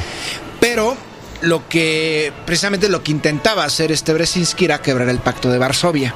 Este fue un gran error de la Unión Soviética al firmar este tratado. Pero si no lo hacían, eh, la OTAN corría el riesgo de expandirse más al este, aunque no hubiera caído la URSS. ¿Por qué? Porque recordemos que Yugoslavia eh, sale, sale del pacto de Varsovia, aunque era socialista, y podía eh, digamos, ser reclutada por la OTAN para formar parte y ser el, país, el primer país socialista de- del Tratado del Atlántico Norte. El punto es que en ese momento este Brzezinski va a empezar a apoyar a justamente a disidentes de todos los países socialistas, porque recordemos que su, su intención primigenia era acabar con la URSS, pero desde adentro, o bueno, desde afuera a través de con, exiliados, ¿no? Y para esto, para todas las futuras guerras humanitarias o pretextos humanitarios para acabar con, con otras naciones, va a crear este otro, digamos, ONG, think tank, organismo de injerencia llamado Human Rights Watch. Tal vez lo conozcan. Claro. Bueno, Human Rights Watch eh, va a ser lo mismo que, digamos, va a fungir como la, la Fundación Rockefeller o eh, National Endowment for Democracy, todas estas fundaciones, ONG y organismos descentralizados, entre comillas, que reciben fondos directamente del Departamento de Estado, del Departamento de Defensa. Y Human Rights Watch lo hace. Hasta la fecha sigue existiendo. Entonces, él ya tenía experiencia de desarrollar, lo mencionamos en el bloque anterior, eh, a- al impulsar el proyecto este de que a la postre se va a convertir en el sindicato Solidaridad en Polonia que va a llevar a la ruina al gobierno socialista polaco eh, encabezado primero por este Lech Walesa eh, que se va a convertir en el, en el primer presidente de la Polonia independiente ya no vinculada al socialismo ni al pacto de Varsovia entonces intenta hacer lo mismo con un proyecto que se llama Carta 77 Carta 77. Carta 77 porque se llama ¿Quién se le ocurren estos nombres, Nader? pues, a la CIA Ok, bueno, ya. Listo. no, en no, Yo que eh, estoy aquí con todas las ganas de... de aprender No de aprender, sino de poetizar, de llevarlo al terreno de... Al No, pues terreno de, lo- de la creación. justo suena cortas su- las alas de inmediato. suena como manifiesto cinematográfico Ajá. bizarrón de Europa de la Europa germánica pero no se le ocurre justamente a hablas de poesía y literatura pues se le ocurrió a un literato eh, checo llamado Václav Havel ¿Cómo se llamaba? Václav Havel Ok. que se convierte en el primer presidente de la de la de República Checa, ya no de Checoslovaquia socialista, sino de República Checa después de la de la división entre Re- eh, Eslovaquia y República Checa, ¿no? Que culmina precisamente con un proceso que impulsó Brzezinski en un principio eh, con la revolución de tercio- la revolución de terciopelo Ajá. en 1989. Ajá, sí, sí. ¿Ok? Entonces, este es, digamos, como. Eh, Brzezinski logra concretar dos proyectos. Uno va a ser Solidaridad en Polonia y la otro, digamos, lo que está realizando en República Checa, ¿no? Que son los países más occidentales de Europa del Este y del Pacto de Varsovia. Entonces, ¿qué va a pasar? Eh, en 1977-78, precisamente eh, dentro del proceso, eh, digamos, de contrarrevolución polaco, este Brzezinski se va a entrevistar, ya tengo el nombre del cardenal, o si lo había apuntado, con el cardenal Stefan Wyszynski, Ok. que va a servir para preparar justamente el ascenso de Carlo Wojtyla como el Papa Juan Pablo II. ¿Ok? Ok, ok. que llega justamente al poder eh, después de... O sea, el, el- el objetivo era que llegara al poder después de la muerte de Juan Pablo I. De Juan Pablo I. Ok. No me voy a meter en ese tema porque no, no hay vínculos. Pero al parecer sí había vínculos entre el movimiento de solidaridad polaco, eminentemente católico, porque recordemos que Polonia, aunque esté en Europa del Este, aunque es un país de habla eslava, es católico, a diferencia de sus vecinos, que son de la, de la ortodoxia, de las ortodoxias orientales, ¿no? Entonces, eh, posiblemente sí hubo una conexión entre el gobierno italiano y quien haya, quien se haya echado a, a Juan Pablo I, que probablemente fue pues la cosa nostra, la camorra italiana, vinculado a la CIA por digamos su tendencia como a ser neutral en esta en la Guerra Fría. De hecho, recordemos que ya, ya había, eh, había salido, hablamos de las sandalias del pescador de una película interpretada por el actor mexicano Anthony Quinn, en que interpreta un- al primer papa ruso. Lo hablamos en la rusofobia. Claro, claro, claro. Ya, ya, ya. Bueno, Ya, ya. O sea, no es coincidencia de que haya salido esta película, porque ya se tenía fraguado este plan de instalar a, a Carol Voltina, a Carol Voltila en el Vaticano. El punto, ¿por qué? Porque al mismo tiempo atraes a cientos de, a decenas de millones, a decenas de millones de fieles de toda Europa del Este, porque la Iglesia Católica, aunque no es mayoritaria en muchos países de Europa del Este, sí es la segunda religión más profesada por, por los fieles cristianos después de la- las iglesias orientales. Entonces en el 78 también va a ocurrir algo, algo muy importante. Kissinger, previamente con este Nixon y con este y con este Ford se había, se había acercado cada vez más a China. Ok. Recordemos lo que fue la guerra de Vietnam y los conflictos en Bangladesh y posteriormente lo que ocurrió en, en- en Afganistán. Entonces, la administración de este Jimmy Carter, a través de Brzezinski, va a decidir hacer un punto culminante en sus relaciones con la, Repu- con la República Popular de China, que es, va a cortar relaciones con la República de China. ¿Cuál es la República de China? Taiwán. Ok. Van a, hasta ese momento, eh, Taiwán, Uy, qué desmadre. Taiwán tenía el asiento en la ONU, como China. Ok.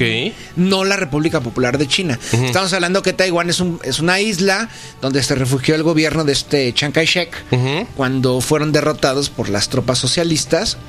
Entonces se refugia Chiang Kai-shek en la isla y crea su república muy vinculada a Estados Unidos, muy vinculada a Japón, Ujú. etcétera. Entonces decide el gobierno estadounidense romper con, con China-Taiwán y digamos eh, mantener la- las relaciones oficiales con una China que en este caso sería la China continental, la República Popular de China y hasta este momento se mantienen las relaciones aunque muy tensas en este momento. Ok. Muchos dirían que fue un error de, eh, de- de los gringos hacer esto, pero lo tenían que hacer justamente para ir en contra de la Unión Soviética en el cisma sino-soviético. Entonces, El cisma sino-soviético Soviético. suena muy cabrón. Sí, sí, pues es que imagínense que la segunda potencia. En la época de Stalin, todavía el gobierno de Mao y de, Joseph Stalin mantenían muy buenas relaciones, no excelentes, pero bueno. Pero cuando llega Nikita Khrushchev al poder, ellos, el gobierno, el gobierno de la República Popular de China lo ve como una revista. Entonces se para de Nikita Khrushchev, que lo ven como un reaccionario, y se mantiene como alejado de, Moscú, ¿no? Incluso hay un conflicto militar espontáneo intermitente entre China y Moscú. El punto es que el gran error de la República Popular de China fue vincularse a Estados Unidos. Pero si no lo hubieran hecho, el, peso diplomático en este momento de China sería difícil. ¿Por qué? Porque cuando Estados Unidos reconoce a la República Popular, a Pekín, otros gobiernos empiezan a hacer lo mismo. Entonces llega un punto en que la ONU les dé el asiento a la República Popular de China y tiene un asiento permanente en el Consejo de Seguridad de la ONU. Algo que no podría haber sido si, si Estados Unidos no lo hubiera reconocido. Sí, bueno, desde... Tiene sus pros y contras. Exacto, exacto, exacto.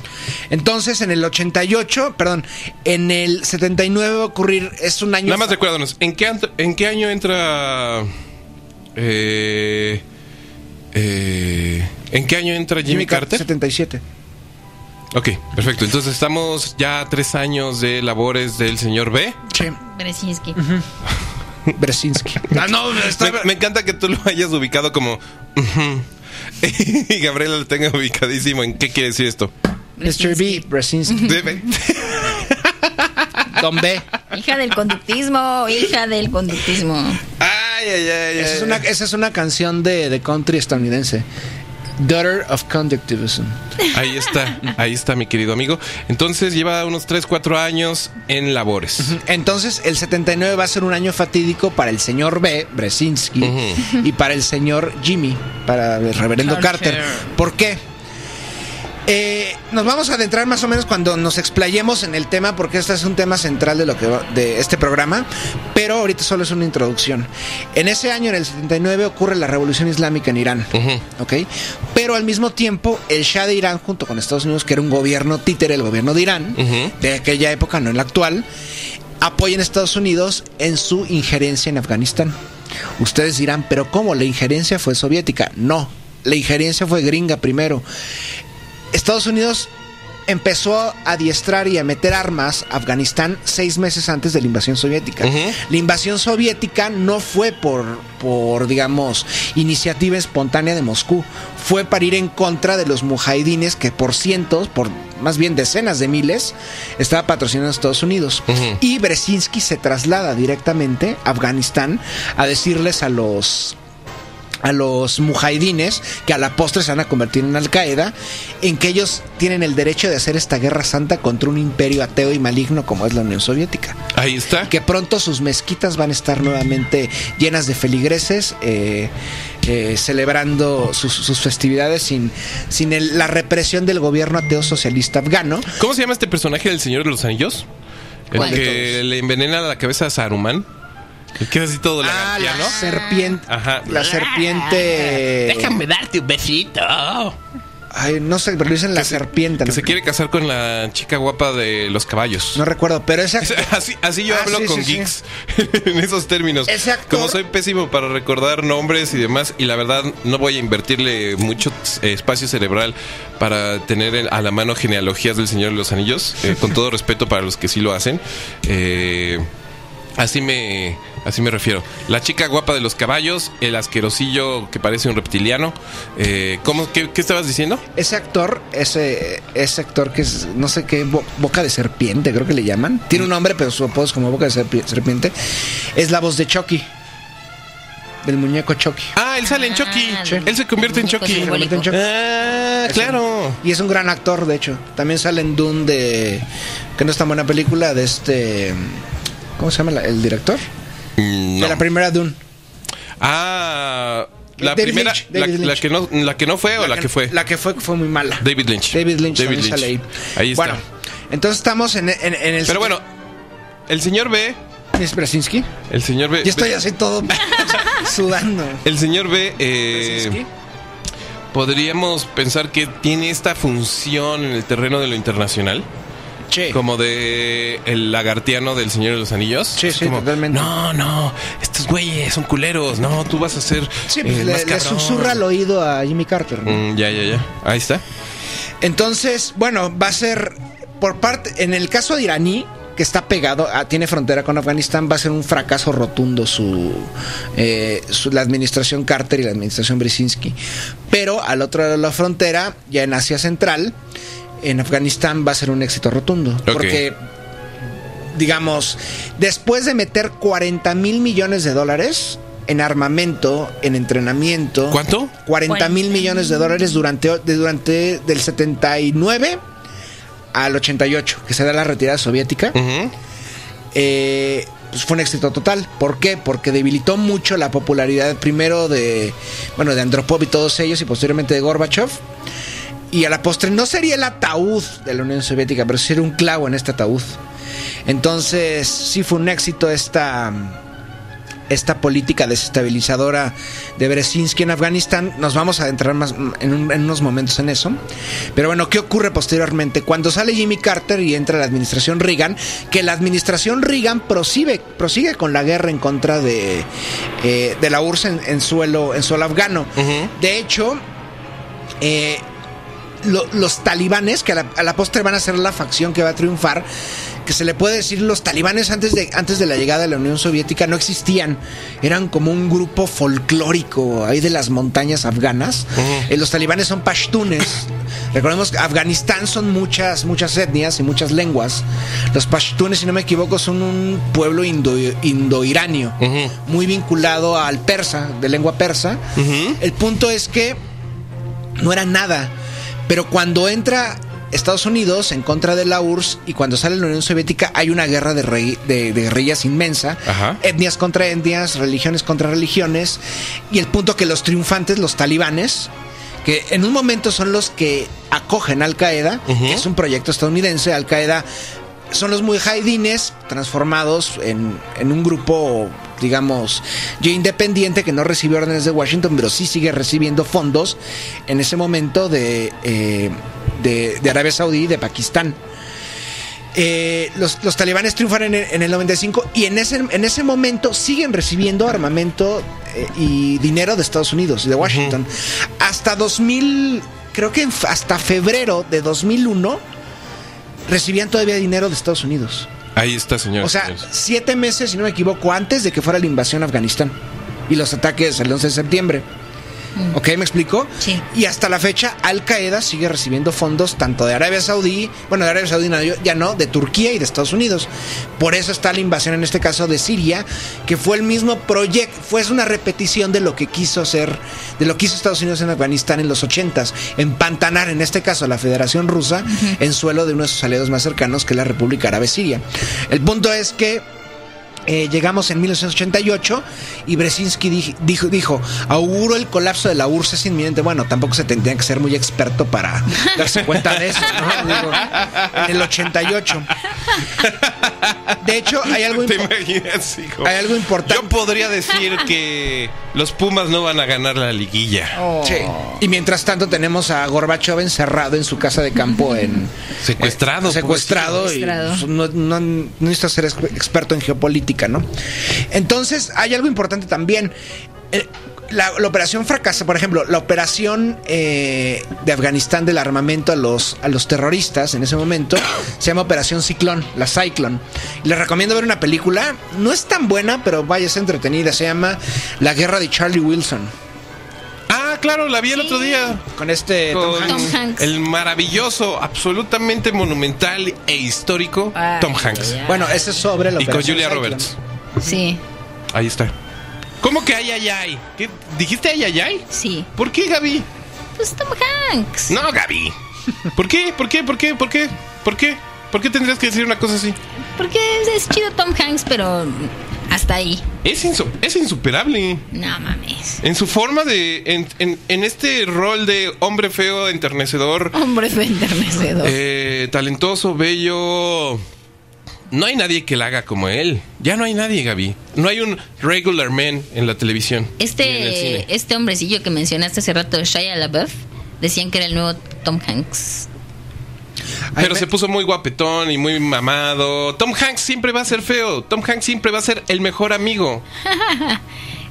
es The verdad, Gaby. A mí me encantaba sus primeras películas ochenteras. Hay una que se llama House, que compra, que heredan una casa. Entonces la casa es un desastre total, una mansión. Se les viene abajo. Y hay otra que se llama, en español le pusieron Vecinos al Ataque. No la ubico, No, ¿eh? tampoco. No Que eh, en un barrio de un suburbio estadounidense común y corriente llega una familia de Europa del Este y Tom Hanks, un vecino común, piensa que son asesinos. ¿Ves? Ahí está el adjetivo. ¿Viste cómo lo describió? Ajá. Un vecino común. No es como que tu vecino sea Bruce Willis, que seguramente es un agente secreto. No es como que tu vecino sea eh, Ian McKellen, que seguramente es un ex agente de la SS. Eso es una película también. Esa de Ian McKellen La- que, la- sí, la claro. que saca su. Sí. No su es como que los no es que tu vecino sea Robert Redford, que va a tener, eh, pues vas a tener un romance con él. No, no, no. Tu- Invariablemente. Tu, vecino es un vecino común y corriente, es Tom Hanks. Sí. Ahí está. Y se me olvidó otra, la de Big, Ah, ese es el chido. Ah, esa es, esa es histórica. Que es- rompen el piano. El piano que se sube a. Es, eso, ya la han visto. El punto es que eh, estamos con. Justamente hablando de la, de la operación Ciclón, al otro lado de la frontera está en ese momento la revolución islámica, que va a desembocar en la toma de, la embajada estadounidense en Teherán por parte de los estudiantes de la, de la revolución, bueno, que, que, que promulgaban la revolución islámica en suelo iraní, en suelo chií. El punto es que eh, había, dos, había dos políticas encontradas. Una era entre Brzezinski, que era el asesor de, digamos, internacional de Jimmy Carter, y la otra era entre Cyrus Vance. ¿Quién era Cyrus Vance? El secretario de Estado. Ellos dos no se soportaban. Cyrus Vance decía que tenía que haber un acercamiento, digamos, diplomático entre el nuevo gobierno de, la aya- de los ayatolas, mientras que Brzezinski decía que tenía que haber un rompimiento y una invasión. Entonces Brzezinski fracasó y Cyrus Vance, digo, hubiera sido más ¿Hay fácil. un personaje de Harry Potter que se llama Cyrus Banks? No, Sirius Black. Ah, cierto. Perdón. Creo que hiciste la misma pregunta a la emisión pasada. Perdóname, Nadie. No, no, no, no, no. Trabajo mucho. No, Estoy aquí por eso. tres horas al día. O sea, no me puedo acordar de todo lo que Más. refriteo en Más mi de cerebro. tres horas al día estás. Sí, estoy como cinco horas al día aquí, hablando tres. Perdóname. Bueno, tienes razón. Si hay un. Es el. No, no se llama Cyrus, ¿no? Es que no soy fan de Harry Potter. Sirius tampoco. Black. Sirius, Sirius, Sirius, Black. Sirius Black. Sirius Black. Que les ponen como nombres así.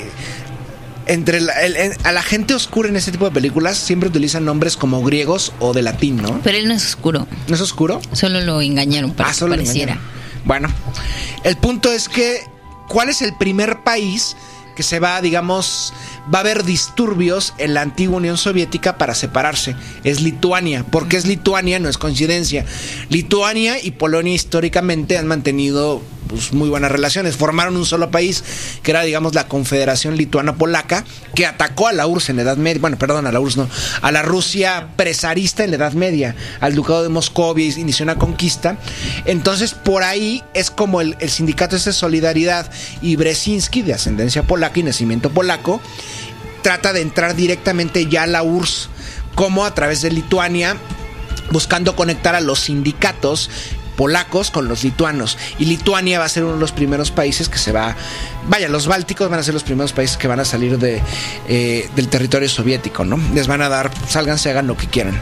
Entonces, digamos, ese es como el historial oficial eh, de, durante el periodo Carter, que Carter no le dan la reelección. No. No. Porque fue pésima y el, digamos, ¿por qué fue pésima? Porque no pudieron rescatar nunca a los, a los rehenes en la en la toma de rehenes en la embajada de, de- de Eso le costó de Le la- costó la la presidencia. la sí. presidencia, la de hecho. Ya ves, no fue por buena onda.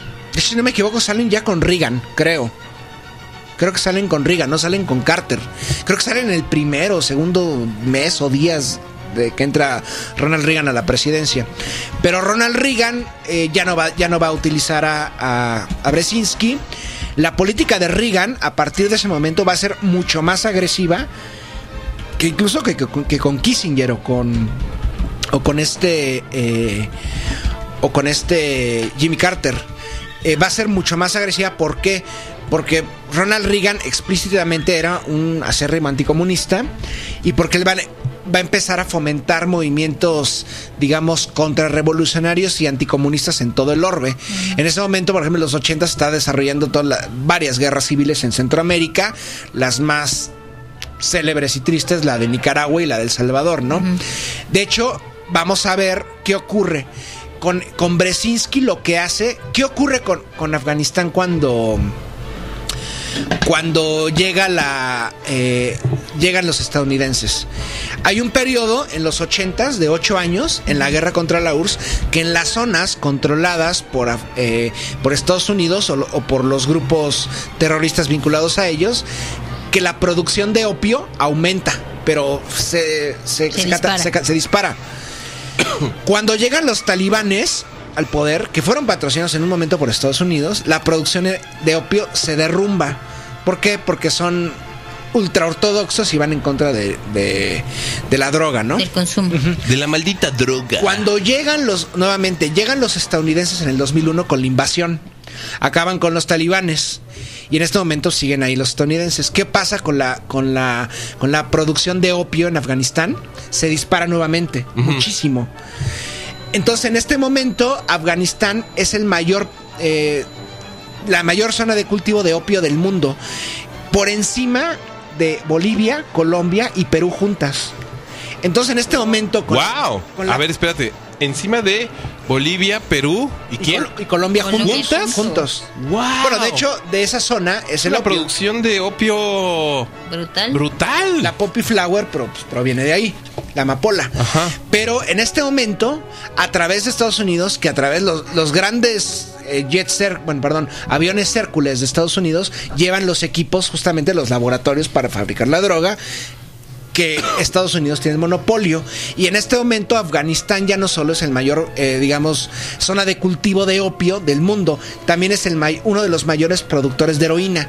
Ya no solamente lo cultivan, ahora también lo transforman en heroína y lo exportan a todo el mundo vía precisamente el gobierno estadounidense. Porque aunque no lo crean, el gobierno estadounidense tiene el tráfico, sea, es quien domina el Ajá. tráfico de heroína y al mismo tiempo también es patrocinado por las farmacéuticas, porque los opiáceos eh, baratos a través del tráfico de drogas es mucho más económico que, le- que, que los legales, ¿no?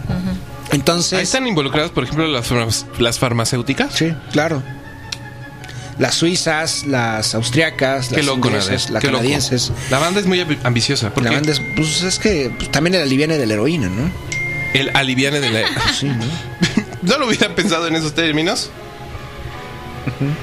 Pero bueno, eh, este digamos es como el periodo oficial de Brzezinski. Ujú. Eh, sale cuando acaba la administración Jimmy Carter, él se retira oficialmente de la escena, pero él va a seguir trabajando precisamente en en la administración, en distintas administraciones de asesor repentino, ¿no?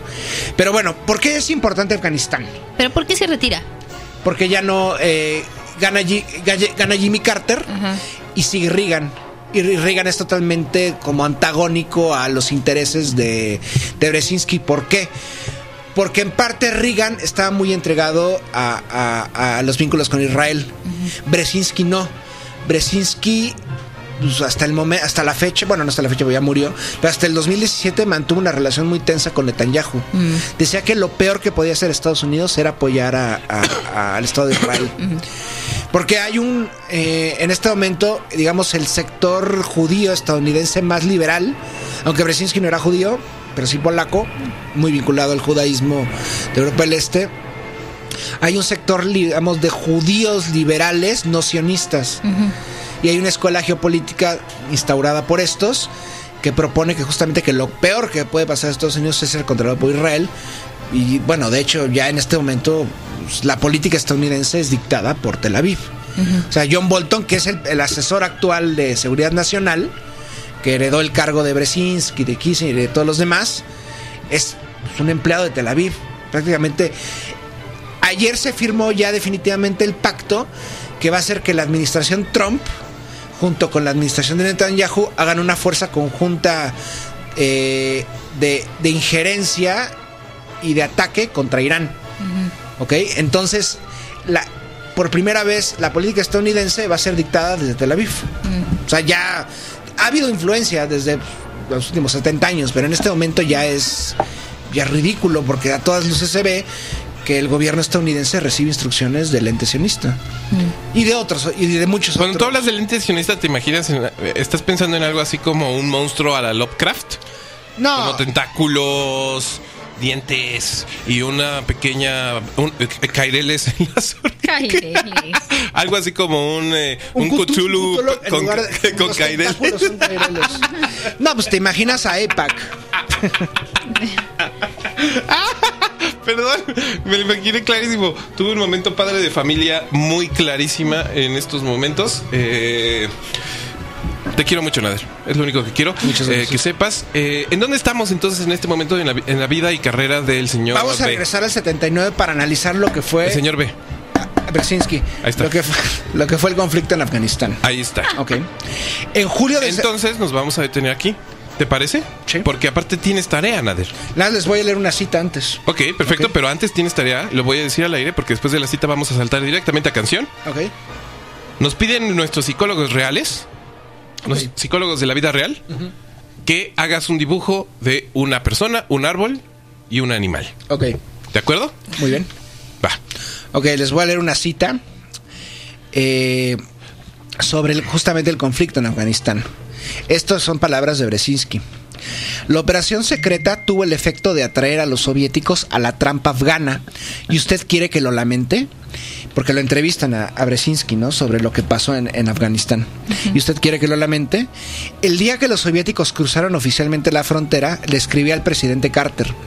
Ahora tenemos la oportunidad de darle a los soviéticos su propio Vietnam. Y así, por 10 años, la Unión Soviética llevó una guerra que fue insoportable para el gobierno, un conflicto que desmoralizó al país y más tarde colapsó al imperio soviético. Esas son palabras de Brzezinski. ¿Por qué le preguntan esto?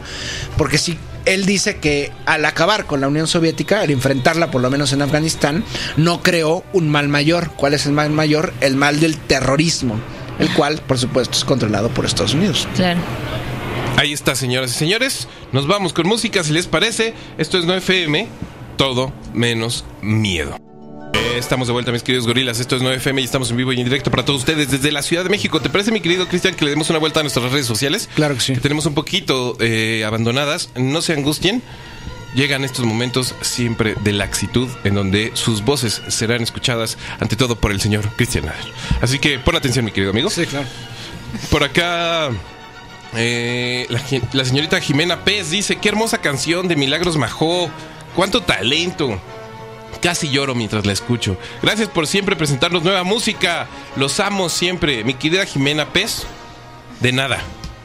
Ojalá lo hayas disfrutado. Es parte del topless, es nuestra consentida de la semana. De hecho, le diste bien y le diste certeramente. Y puedes revisar los topless semanales cada semana. Siempre se presentan joyitas como esa eh, para tu guste, deleite y satisfacción. Viviano Land dice: Hola, buenos días. Ya lista para aprender aunque duela. Saludos a todos, mi querida Vivian. ¿Cómo estás? ¿Cómo va la vida? Ojalá no te esté doliendo demasiado. Eh, por acá. Eh, el, el Ale eh, apresura un primer diagnóstico, mi querido amigo, Adelante. sobre la primera prueba psico, psicométrica que te hicimos, eh, que era la, el dibujo de tu familia. Sí. Familia. Y dijiste, y, y el Ale dijo, figuras paternas severas, posiblemente autoritarias, un cuadro familiar estable, aunque perturbador. Línea suave y continua refleja estabilidad y foco. Pienso, sol sonriente igual a psicópata. Con mucho cariño para el maestro Nader. Y continúa, más cercanía e identificación con el padre también. Soy el peor interpretando, pues hace mucho que no lo hago. Esperemos que Guavisabe eh, tenga una óptica más certera. Saludos. Y la señorita Paulina Moreno, arroba Guavisuave. ¿Guavisuave? ¿Cómo ¿Sí? es? ¿Sí? Guavi suave. Guavi Suave eh, nos pidió ampliar la prueba y nos pidió que hicieras, dibujaras una casa, un árbol y a un nombre, o digo un personaje. Eh, lo cual ya hicimos, ya salió en redes y estamos esperando otro diagnóstico, mi Por querido favor, amigo. una interpretación Ahí para, está. para mis malestares que llevo cargando desde la infancia temprana. Listo, señoras y señores. Por acá Terminator Isabel nos recuerda que hoy es el cumpleaños de la señorita Mary Shelley.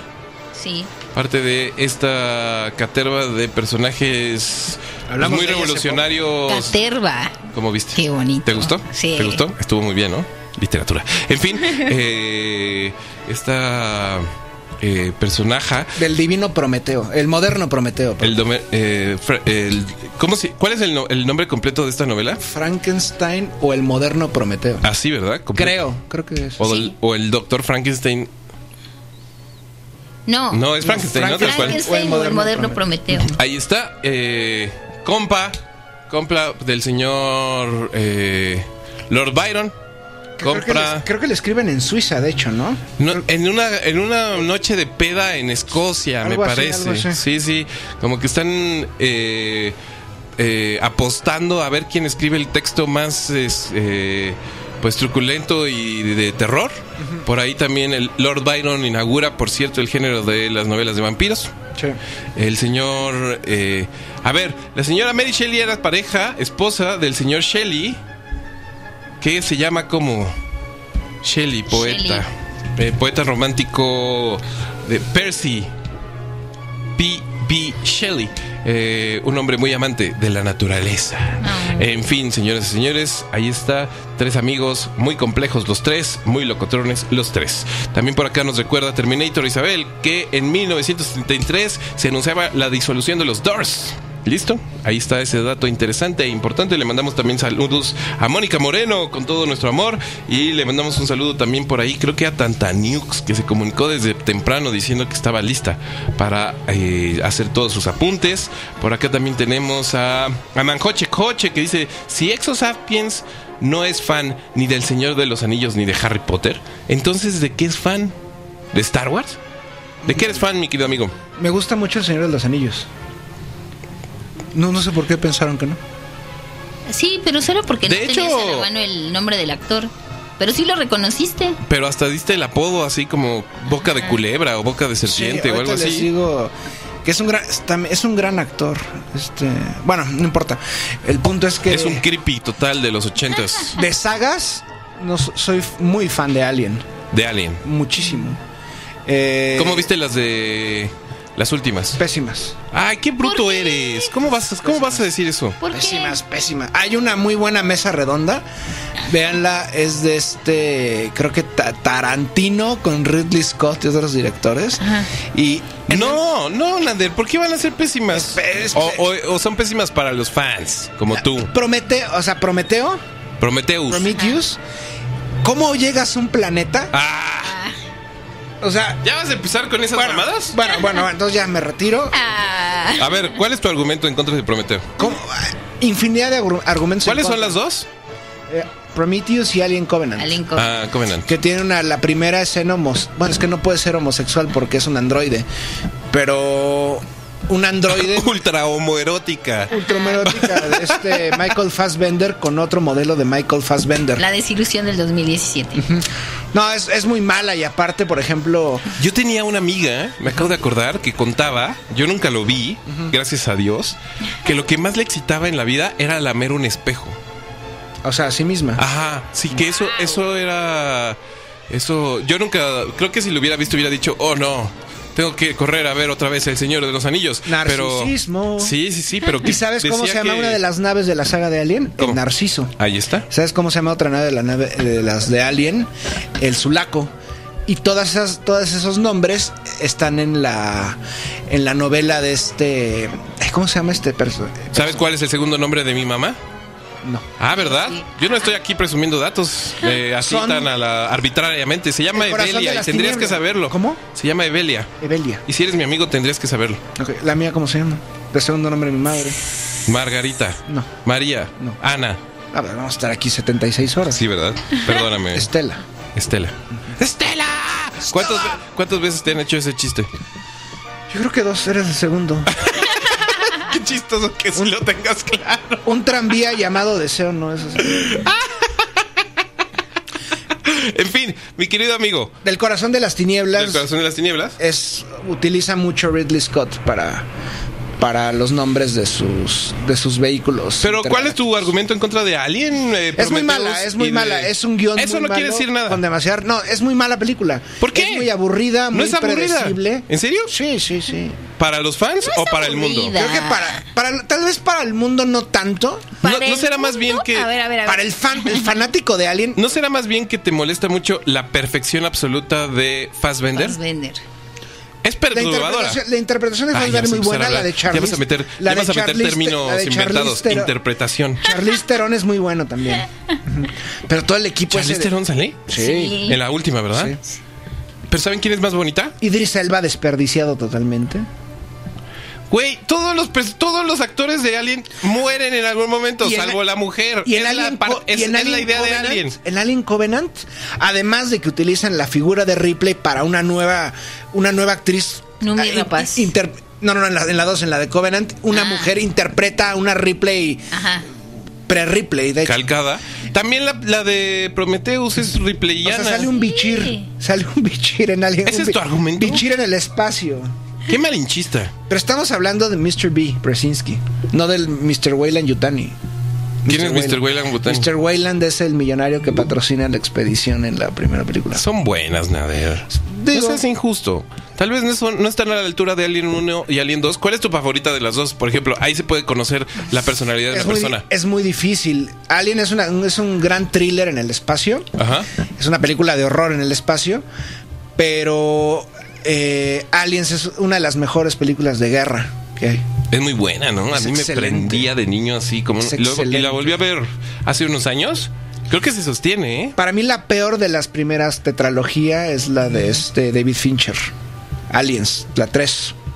¿La, de la Raider? La de la No, cárcel. esa es la 4. Ah. La de la cárcel. La, que todos No, la pegados. 2 es Aliens. Sí, por eso. La 3 es Alien, Alien 3. Ajá. Es pésima película. Creo que es Pero mejor no te gusta la idea de la ¿Cuál es Alien cárcel. Ah. No, no, de hecho hay Pues muchos... es el final de la saga de Ripley. Y después la hacen clon y cosas así. en, la- en el guion original iba a Ah, ser ya, en la pues, Tierra. Es que, ah, es que esas son cosas que no podemos discutir. Y la Discutamos cuatro- como espectadores normales, Y no la cuarta película... desde los la guiones originales. La cuarta película la, iban a di- la dirige este... Creo que Jean-Pierre Junet y Caro. Fan. Que son los que dirigen la, la ciudad de los niños perdidos y Delicatessen. Y creo que es mejor que la de David Fincher, Alien 3. Es rara. Sobre todo regresan a este espacio muy bonito de Aliens, en donde todo se basa. Bueno, no, y Alien 1 también, en donde la tripulación de la nave tiene mucho peso, las Sí. personalidades. Sí, sí. ¿No, ¿No te dolió muchísimo en Aliens cuando muere esta guerrillera mexicana que está enamorada de otro Sí. eh, malvadón que se estallan en una con una granada en unos túneles? Que está... está Es muy hermoso. es pa- bueno, no es pareja, es, Méndez Pérez, eh, ¿cómo se llama? es esta... Ay. Tiene unos brazos preciosos. Sí, Yo me es- acuerdo. Se Goldstein, la, actri- la actriz. Estás loco. Es- ¿Cómo vas a saber eso? Es un personaje de 10 minutos. Es, es la que muere al final con el, el actor recientemente fallecido. El que dice Game over, man, game over. Sí, es chidísimo. Ese, ese, diri- ese, ese Gran actor. película. Ese actor dirigió una muy buena película que se llama Las manos del diablo, La mano del diablo, Ajá. que es de una familia que quiere matar a su hijo, que es suicida Ok. y que dice que Dios les habla. No, pues no, no, Bueno. no, no la ubico. Es me gusta, soy muy fan de Alien, ¿Y cómo se llama ella? Méndez, Pérez, eh, Sánchez, algo así. Menéndez. No. No. ¡Menéndez! Me acuerdo como los gritos, ¿no? Como demasiado largo. Todas estas escenas así como prum, prum. Porque quien sea fan de Alien, bueno, no fan, porque ya sabemos lo que es un fan de Alien, es una criatura insoportable, pero para quien sea un, un- alguien que disfruta de las Y la películas de música Alien. es fantástica. Sí, claro. Es de este Jerry Goldsmith. Sí, sí, sí, todas estas partes de prum, prum, de los radares estos en donde se ven acercando como 400 aliens. Dios mío, ¿sabes qué? Yo tenía de niño el juguete del montacargas. Yo, yo siempre lo quise, nunca, nunca lo tuve. Yo lo tuve. Y siempre quise Yo los, lo los- tuve. los tenis Reebok de Ellen Ripley. Tenía, ri- Tenía tenía- unos, unos tenis Reebok ultra futuristas que los ¿Sí? acaban de sacar al mercado hace Sí. como cinco años. Carísimos. ¿En serio? Cuando sacaron los de. Los de Volver al Futuro, también sacaron los de Ripley. Que los de Volver al Futuro costaban como 25 mil dólares Sí. porque realmente encendían. Sí. Y se. no, una cosa maravillosa, Benjamín. Pues ahí está, señores, señores, mis queridos, ah, perdón, amigos. Estamos en vivo y en directo para todos ustedes desde la Ciudad de México. Muchísimas gracias a toda la gente que se ha comunicado, muchísimas gracias a toda la gente que está al pendiente, muchísimas gracias a Dega San que nos aclara que esa noche extraña de trío en donde tres poetas fundamentales de la lengua inglesa, del romanticismo inglés, forzaron el trío, fue en Deodati Villa, en la villa Deodati, en Suiza. Ya ves. Ahí está. Bill Paxton es el actor que interpreta. ¿Y cómo este, se llama ella? No me importa cómo se llama él. Esta Janet Goldstein a Vázquez. Vázquez, Vázquez, Vázquez, Vázquez. Es chidísima. Es una potencia absoluta. Es de, un peliculón. de- sí, es grande, es grande. James Cameron. La tercera es muy triste porque empieza y sabemos que no la armó la niña. Sumamente pretencioso. Aparte, Hay mucho arte. En la tercera hay mucha mucha reflexión con respecto a el universo y el mi- y el macro y el micro en universo. Pero bueno, es aparte tema cómo para matas, cómo matas a Newt, que es la niña. O sea, luego, luego en la era, era la- precisamente la gente. ya, ya había crecido. Ya pasaron Bueno, muchos años, ya había actriz, crecido. Pones otra actriz. Digo, están en criogenia, ¿no? Pues pones otra actriz. Pues no sé, pero Ripley Bueno, está igualita. Es un tema muy polémico, tan En fin. polémico como. Otro detalle importante que no vamos a abordar. Nader. Calzoncito blanco, Alien 1. Ah, sí, claro. La escena de. Ripley preparándose. ¿No te sí. Calzoncito Sí. blanco, 1. Sí, tal vez, tal vez. Brutal, ¿no? Es brutal. En fin, señores, señores, regresemos a nuestro tema. Seguimos dando pasos con el señor B. Get away from her, you bitch. Bresinski. Una, una, una. es- eso eso no, fue- no es parte de Alien, es una quote Exacto. del señor B. Es una, sí, justo Bresinski. Es Ahí está. su frase más célebre de Bresinski. Ahí Así está, dijo a la. URSS cuando estaban en Afganistán. Mi querido amigo, comencemos. Afganistán. Ok, eh, estamos hablando de, justamente de Afganistán y dimos un adelanto, una cita que le hacen en una entrevista a Bresinski sobre el legado de lo que deja la guerra de Afganistán después de que vencen a la URSS, pero vaya, siembran el embrión de lo que en un futuro va a ser Al Qaeda, ¿no? Entonces, eh, hay una segunda cita que dice, en esta misma entrevista, ¿qué es más importante en la historia mundial? ¿Los talibanes o el colapso del imperio soviético? Algunos musulmanes, esto es del 98, algunos musulmanes agitados o la liberación de Europa Central y el fin de la Guerra Fría? Entonces, para Bresinski el problema de, de la creación de, de Al Qaeda por parte de Estados Unidos era un problema menor. Y en este momento... pues, Recordemos que Bush inaugura la guerra del terrorismo basado justamente en postulados de la teoría de Bresinski. Pero también hay una cita muy curiosa de Bresinski que dice, todo lo que es la guerra del terrorismo es una farsa. Y en esto estoy totalmente de acuerdo con Claro. Bresinski. Es una guerra fantasma con enemigos fantasmas donde puedes declarar a cualquier enemigo... eh, puedes Sí, terrorismo. sacártelo de la manga, ¿no? Para invadir un país.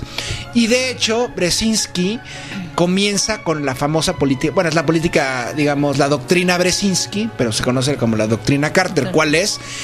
Que Estados Unidos puede intervenir en el Golfo Pérsico si sus intereses se ven afectados. No, no para salvar la democracia, no. ¿Cuáles son sus intereses en el Golfo Pérsico? Por supuesto, el- los hidrocarburos, el petróleo y el gas natural, ¿no? Y por eso está empantanado Estados Unidos para tratar de controlar la región en contra de Rusia y los países, vaya, de esa región. ¿Esta entrevista que está citando está disponible? Sí, está disponible en muchos medios. Ok. Ujú. Entonces, Enlace, eh, nada más para tenerlo. es Le, Le Nouvel Observateur, Ok. el nuevo observador francés de 1998. Va. Eh, entonces, lo que quiere hacer precisamente eh, este Brzezinski es acabar con gobiernos antagónicos, no solamente con ya acabó con la URSS, ¿no? Pero qué queda de esos qué queda de esos gobiernos? Precisamente no deben de dejar que Rusia se convierta en una superpotencia nuevamente, ¿no? Entonces que empiezan a hacer a fomentar injerencias o revoluciones o revueltas en las fronteras de Rusia y dentro de la misma Rusia, ¿no? Por eso por eso están es- todas estas digamos estas ONGs patrocinadas por Estados Unidos yendo en contra del gobierno ruso diciendo que rompen los derechos humanos o que contra las minorías, contra los homosexuales, etcétera, etcétera, etcétera. Y esto nada más es en Rusia, es en cualquier país donde Estados Unidos ponga la mira, van a, ir, van a, van a comenzar con la primicia de los derechos humanos. Entonces, eh, este digamos se le llama el, como el poder suave, así le llaman. No tienes que derrochar grandes cantidades de, dinero, de dinero fondos pa- con armas o con, o con o con ejércitos tradicionales cuando tienes el poder de hacerlo con ejércitos, digamos, de universitarios mucho más económicos y menos violentos y que menos llaman la atención. Por eso las revoluciones estas de colores de Europa del Este y Asia Central o las primaveras árabes en el norte de África y en Medio Oriente triunfaron. Algunas, no todas, porque también se equivocan, ¿no? Entonces, de hecho, Brzezinski en los 70s, él desarrolla el concepto, es un concepto muy bizarro que me remite siempre a la canción de Pump the Jam de Technotronic. Porque él dice la era tecnotrónica. La, la era tecnotrónica. Eres quien acuña el concepto en un libro que se llama, bueno, en varios de sus libros, pero uno se llama El Gran Tablero de Ajedrez Global, algo así.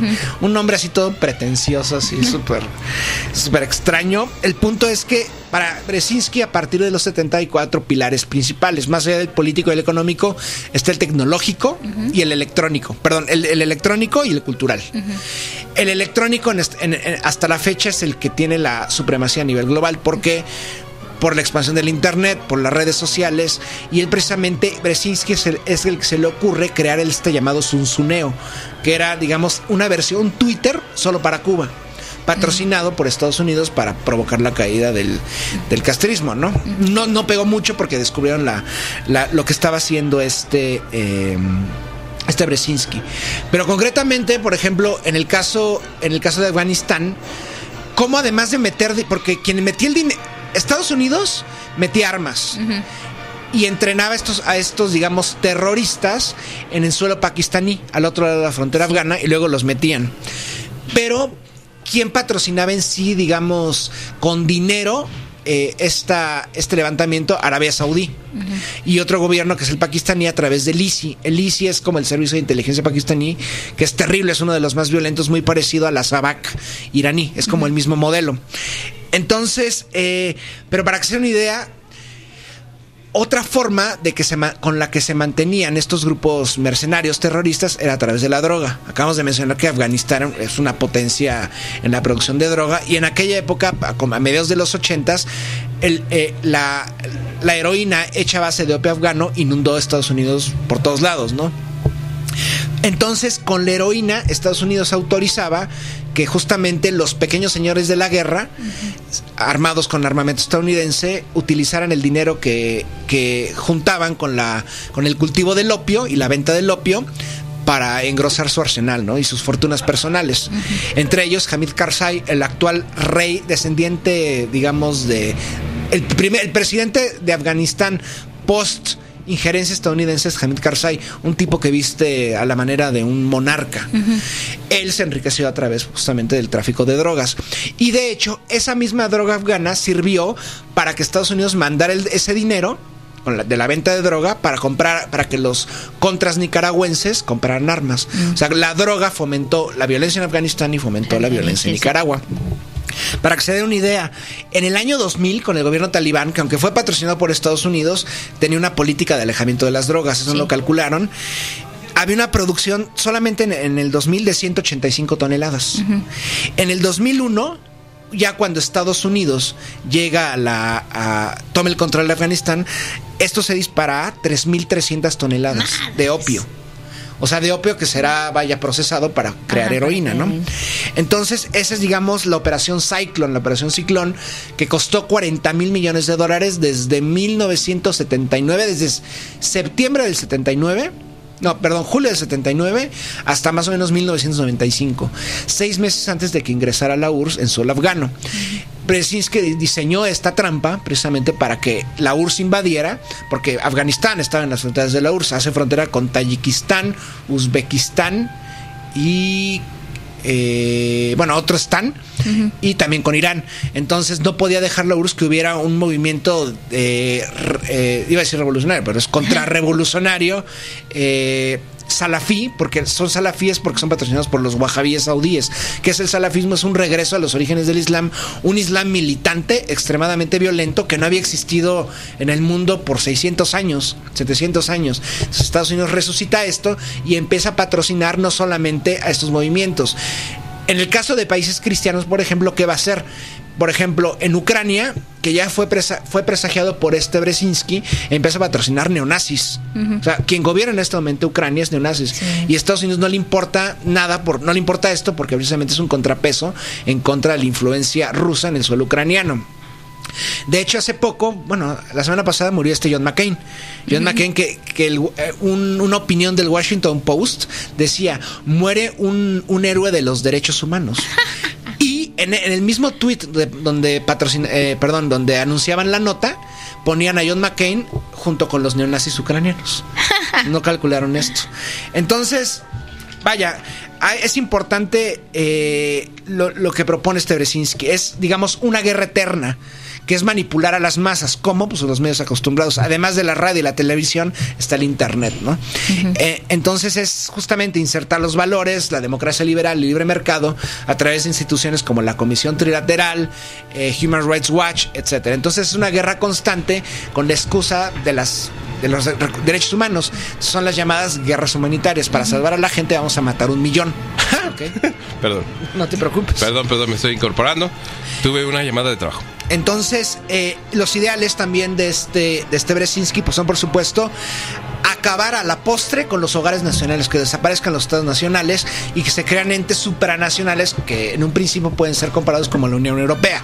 La Unión Europea es, digamos, el gran precedente que tiene proyectado Estados Unidos a nivel global, que suena muy conspiranoico como un gobierno global, pero si vemos cómo se está expandiendo la OTAN más allá de Europa y del Atlántico Norte, en este caso, por ejemplo, en Colombia, podemos augurar que en los próximos años van a crear una nueva OTAN, o como está pasando en su coalición que está juntando Estados Unidos en su coalición antiraní eh, en el Medio Oriente, ¿no? Una OTAN árabe compuesta por países de, de araboparlantes, ¿no?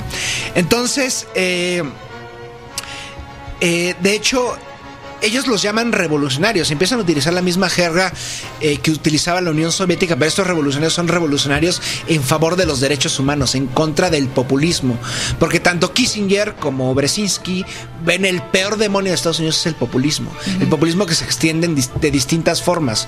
Y empiezan a identificar pues, los mi- movimientos populistas, que son Venezuela, que son Bolivia, incluso Irán, son movimientos muy distintos, eh, muy entregados a la idiosincrasia de cada nación, a a la a- tanto a la religión como al aspecto eh, popular, pero eh, que puede ser el, justamente el contrapeso para la democracia liberal.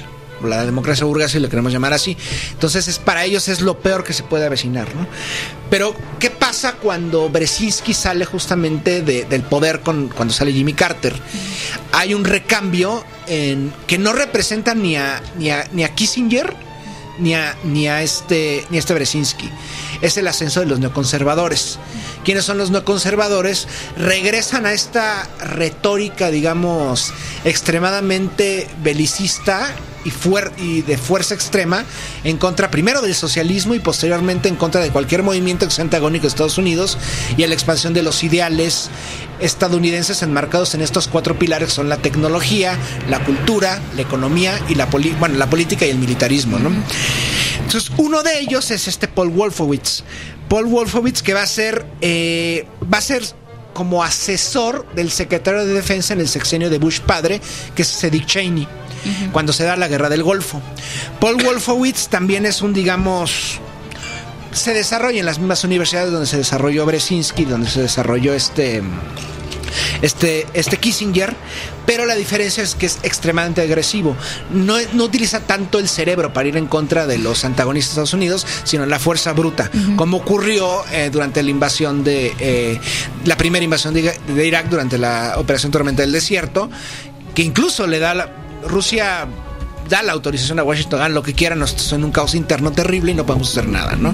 Entonces, después de haber sido, eh, subs- digamos, subsecretario de asuntos como de política exterior para Dick Cheney, él se convierte en el sexenio de Bush hijo en el subsecretario de defensa.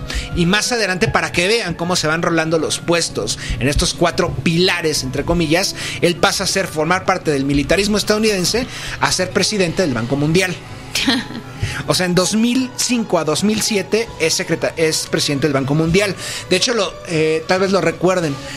Wolfowitz, cuando entra a la presidencia del Banco Mundial, trabaja a una mujer que se llama Shaha Risa. Shaha Risa es tunecina, pero nacionalizada saudí y también nacionalizada británica. Esta mujer mantuvo un romance con Paul Wolfowitz, que es un sionista, pero de los peores, y esta mujer es saudí. Eh, vaya, pro wahabí, aunque dice ser estar a favor de los derechos de las mujeres en el mundo árabe, es totalmente entregada a, a los saud, ¿no? Entonces, se descubre que tienen un romance y que por eso se divorciaron cada uno de sus respectivas parejas. Pero cuando Claire Serlin, que es la ex esposa de Wolfowitz, descubre esto, decide filtrar la nota a los medios, porque Paul Wolfowitz estaba tratando de ser, eh, en el sexenio de Bush, eh, director de la CIA. Entonces mete la nota a la ex esposa y dice, Paul Wolfowitz mantiene una relación con una ciudadana saudí de dudosa procedencia que puede ser, eh, puede, afe- puede afectar la seguridad nacional de los Estados Unidos. Entonces la CIA dice, ¿por qué no sabían ni siquiera la CIA de esto? ¿no? Me encanta el. ¿Por qué? ¿Por qué? Entonces- ¿Quién? ¿Cómo? ¿Qué ocurre? ¿Qué ocurre? No le dan el puesto a Wolfowitz porque tiene una relación eh, extramarital con esta mujer saudí. Entonces se mezclaron los líos de faldas y estas cosas. Líos de faldas. ¿No te encanta esa expresión? Sí, pero está muy en, ya muy en desuso, ¿no? Porque también serían eh, eh, líos. ¿Es heteropatriarcal, Gaby? li- Sí, Sí, yo creo que claro. sí. También tendría que ser líos de pantalones, ¿no?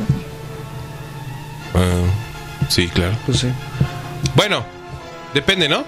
¿Por qué? Si eres un hombre heterosexual, tus líos son de faldas. Si eres una mujer heterosexual, tus líos son de pantalón. Bueno, ¿no? ¿Por, quién- por qué asumimos que Exacto. Ahí está, Ahí ya. va. Ahí vamos, va, poco ahí a poco. ¿Por qué asumimos que las faldas son femeninas y los pantalones son masculinos? ¿Qué ocurre si eres escocés? ¿Qué ocurre si vives en el mundo árabe, en el Magreb? Si traes una túnica. O eres un ciudadano árabe. O eres un. O eliges ponerte O, un ja- pantalones. o eliges ponerte la falda. Tú, por Una- ejemplo, hoy traes pantalones, Gaby. Traigo pantalones. Una natobolsa. Si armas un, un, un lío, no por tu condición femenina, sino por porque la vida es muy Por la compleja. condición humana. por la condición humana y tus deseos profundos y oscuros, Ajá, podría ser un lío de pantalones en estos momentos. claro. Traes pantalones. Sí, porque además me gustan los hombres que generalmente usan pantalones. Ahí está. Listo. Exacto. Ahí está. Muy bien. Listo. Muy bien. Siguiendo con el señor Be- Brzezinski. ¿Cuál fue uno de los últimos? Bueno, él también fue, fue, ya fuera de puesto no oficial, fue asesor de Obama en, en, el, en, el- en su sexenio, ¿no? Perdón, en sus dos pe- pe- periodos de cuatro Sí. años. Eh, ¿Y cuál fue el último chiste de Brzezinski? En 2014, él detestaba a Vladimir Putin, lo, lo odiaba. Y más cuando este Kissinger empezó a tratar de cabildear a favor de, de Rusia en Washington, ¿no? Pero ¿qué, qué hizo? En 2014 se le ocurre comparar públicamente a, a Putin con Hitler. ¿Y qué ocurrió? Así fue como la cadena que culminó en las portadas de todos los diarios. Hay un famoso collage de portadas que aparece Putin, todos los rostros de Putin maléfico con tanques. Ah. Que es rus- una- un collage rusófobo de todas las portadas rusófobas. Y cómo fue después de, horas después de que Brzezinski comparó a Putin con Hitler, Clinton dijo que Putin era como Hitler. Posteriormente, John McCain, que murió la semana pasada y que se está pudriendo en el infierno, eh, por lo menos de, de- de la historia, eh, comparó a Putin con Hitler. Marco Rubio, el, este personaje fue candidato a la presidencia por parte del Partido Republicano, comparó a Putin con Hitler. Y posteriormente, horas después, días después, toda la prensa a nivel mundial comparaba a Putin con Con Hitler. Hitler. La, la prensa occidental, por supuesto, ¿no? Entonces, eh, finalmente en 2017, sí, sí es de esa fecha, eh, el, el comité, eh, escuchen esto bien, esto es en serio, el, el comité que otorga el Premio Nobel de la Paz, que a diferencia de los otros premios Nobel no está en Suecia, sino en Noruega, eh, hizo una reunión para celebrar la vida de dos grandes personajes. Ok. ¿Cuáles son estos dos grandes personajes? ¿Quiénes? ¿Quiénes? El señor Kissinger y el señor Brzezinski. Entonces, en un mismo... Estaría increíble que tuviera un cameo de Stan Lee. No, así como. Sin sentido. Sin sentido, pero así como en las instalaciones de Cobra, de Hydra, señor Stan Lee otorgándole una medalla al señor Brzezinski y al señor eh, Kissinger, a nuestro amigo Heinz. Entonces, ¿Cómo va tu amigo Heinz, por cierto? ah, El pequeño Heinz. creo, creo que va a haber una secuela de esta película. No, ¿en serio? Wow. Ya no será Heinz, sino Heinz, citando a Heinzes, Ahora citando a Aliens. Ahora podríamos consider- ya, ya no, ya no llamarle Heinz, sino Zbigniew. Qué feo. Zbigniew. Entonces, eh, se da una reunión eh, para celebrar a estos dos personajes en la Universidad de Oslo. O sea, imagínense, el Premio Nobel de Paz, bueno, el mismo que nominó a Adolfo Hitler al Premio Nobel de Paz y se lo otorgó a Barack Obama, ¿no? Entonces ahí es cuando, digamos, ellos cuentan sus peripecias, la primera vez que Kissinger conoce a, a Brzezinski. Entonces, en este momento estos dos personajes, Kissinger sigue teniendo trascendencia, pero ha sido muy como demonizado y las cámaras lo han, dejado de apuntar en Estados Unidos porque precisamente busca hacer este, este pacto con Rusia para ir en contra de China, mientras que el sector que apoyaba a Brzezinski, ya también fallecido, trata de apoyar justamente a China para ir en contra de Rusia, ¿no? Pero ninguno de los- dos lo ha hecho. Entonces sí podríamos decir que se cierra un periodo de, eh, de 50 años en las políticas estadounidenses injerencistas imperialistas de estos dos personajes, porque con el tercer recambio que hay, que es el- la llegada de los neoconservadores, hay una una crisis constante en la política exterior estadounidense que quieren aplicar el, llamado nuevo siglo americano a partir a partir de eh, del 2000 con la llegada de George Bush hijo al poder que es una mezcla de de los dos planes de Brzezinski y de, y de Kissinger, que aplican en parte la doctrina Carson y también la doctrina Reagan. Y lo que quieren hacer eh, con estos neoconservadores es, en primer lugar, eh, reconfigurar completamente geográfica, étnica y religiosamente eh, el Medio Oriente tradicional, el Masrek y el Magreb, que es acabar con los estados nacionales y crear nuevos estados que le sirvan a los intereses tanto de los Saud como del Estado de Israel. En este momento, después de muchos fracasos y de salidas continuas, después de que sale Brzezinski, a partir de la administración Reagan hasta la administración Obama, incluso los primeros, el primer año de Trump, hay un cambio constante en la política exterior en los representantes, ¿no? Pero sí hay un plan fijo, que es el de la el del nuevo siglo americano, que es el dominio absoluto unipolar de Estados Unidos del mundo, ¿no? Evitando que surjan nuevas potencias, principalmente euroasiáticas, tanto como China, Rusia o incluso la India. Entonces, en este momento, eh, todo este caos político se genera en el nombramiento de asesor en, en, en, en seguridad exterior y de seguridad nacional a John Bolton, que es, digamos, esto, este, este halcón que está, más allá de que es un fanático religioso y una persona sumamente ignorante y peligrosa, está muy vinculado tanto a los Saud como a Israel. Entonces, como ya lo dijimos en este programa, eh, la administración eh, Trump se ha convertido en un... Tiene un plan, por supuesto, porque por, por más de que digan que es muy... que sus decisiones son inesperadas y que no las, no las con- concientizan bien, sí hay un plan definido que es justamente ir en contra de estas dos grandes potencias que son China, Rusia y en menor grado Irán y que éstas se puedan convertir en un, en un gran peso a nivel global de Estados Unidos y por supuesto del dólar. Entonces con el nombramiento de John Bolton, que si lo han visto es un tipo de bigote Sí. eh, muy... No, es un tipo delgado, rubio, pelo muy chino, canta muy bonito. Este es Michael Bolton, Es verdad. Es legado verdad, de verdad. los ochentas. Legado de se los mantiene ochentas. vivo igual que Kissinger. Ya- El, el ya- amante ya se canadiense. cortó- se cortó el cabello. Sí, es que eso- esa cabellera no la aguantaba ni Obama, ¿no? Que yo confundía mucho a Michael, Bol- Michael Bolton con Kenny G. Ah, tienen ese look. Son como la misma expresión. Sí. Por cierto, si se quieren conmover profundamente y quieren tener una reflexión extraña y dura, vean a Kenny G tocando en un avión. No. Que una aeromoza le pidió que si le echaba una rola de cumpleaños y le tocó. Pero ¿saben qué es muy duro? ¿Qué?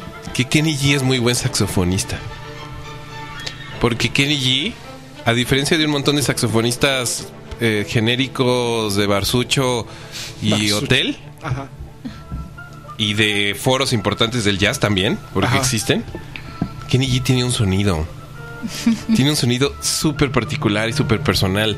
Es un sonido que no es para todo el mundo, estoy de acuerdo, y que los grandes fanáticos del jazz me van a odiar en este momento, pero es un sonido personalísimo, absoluto.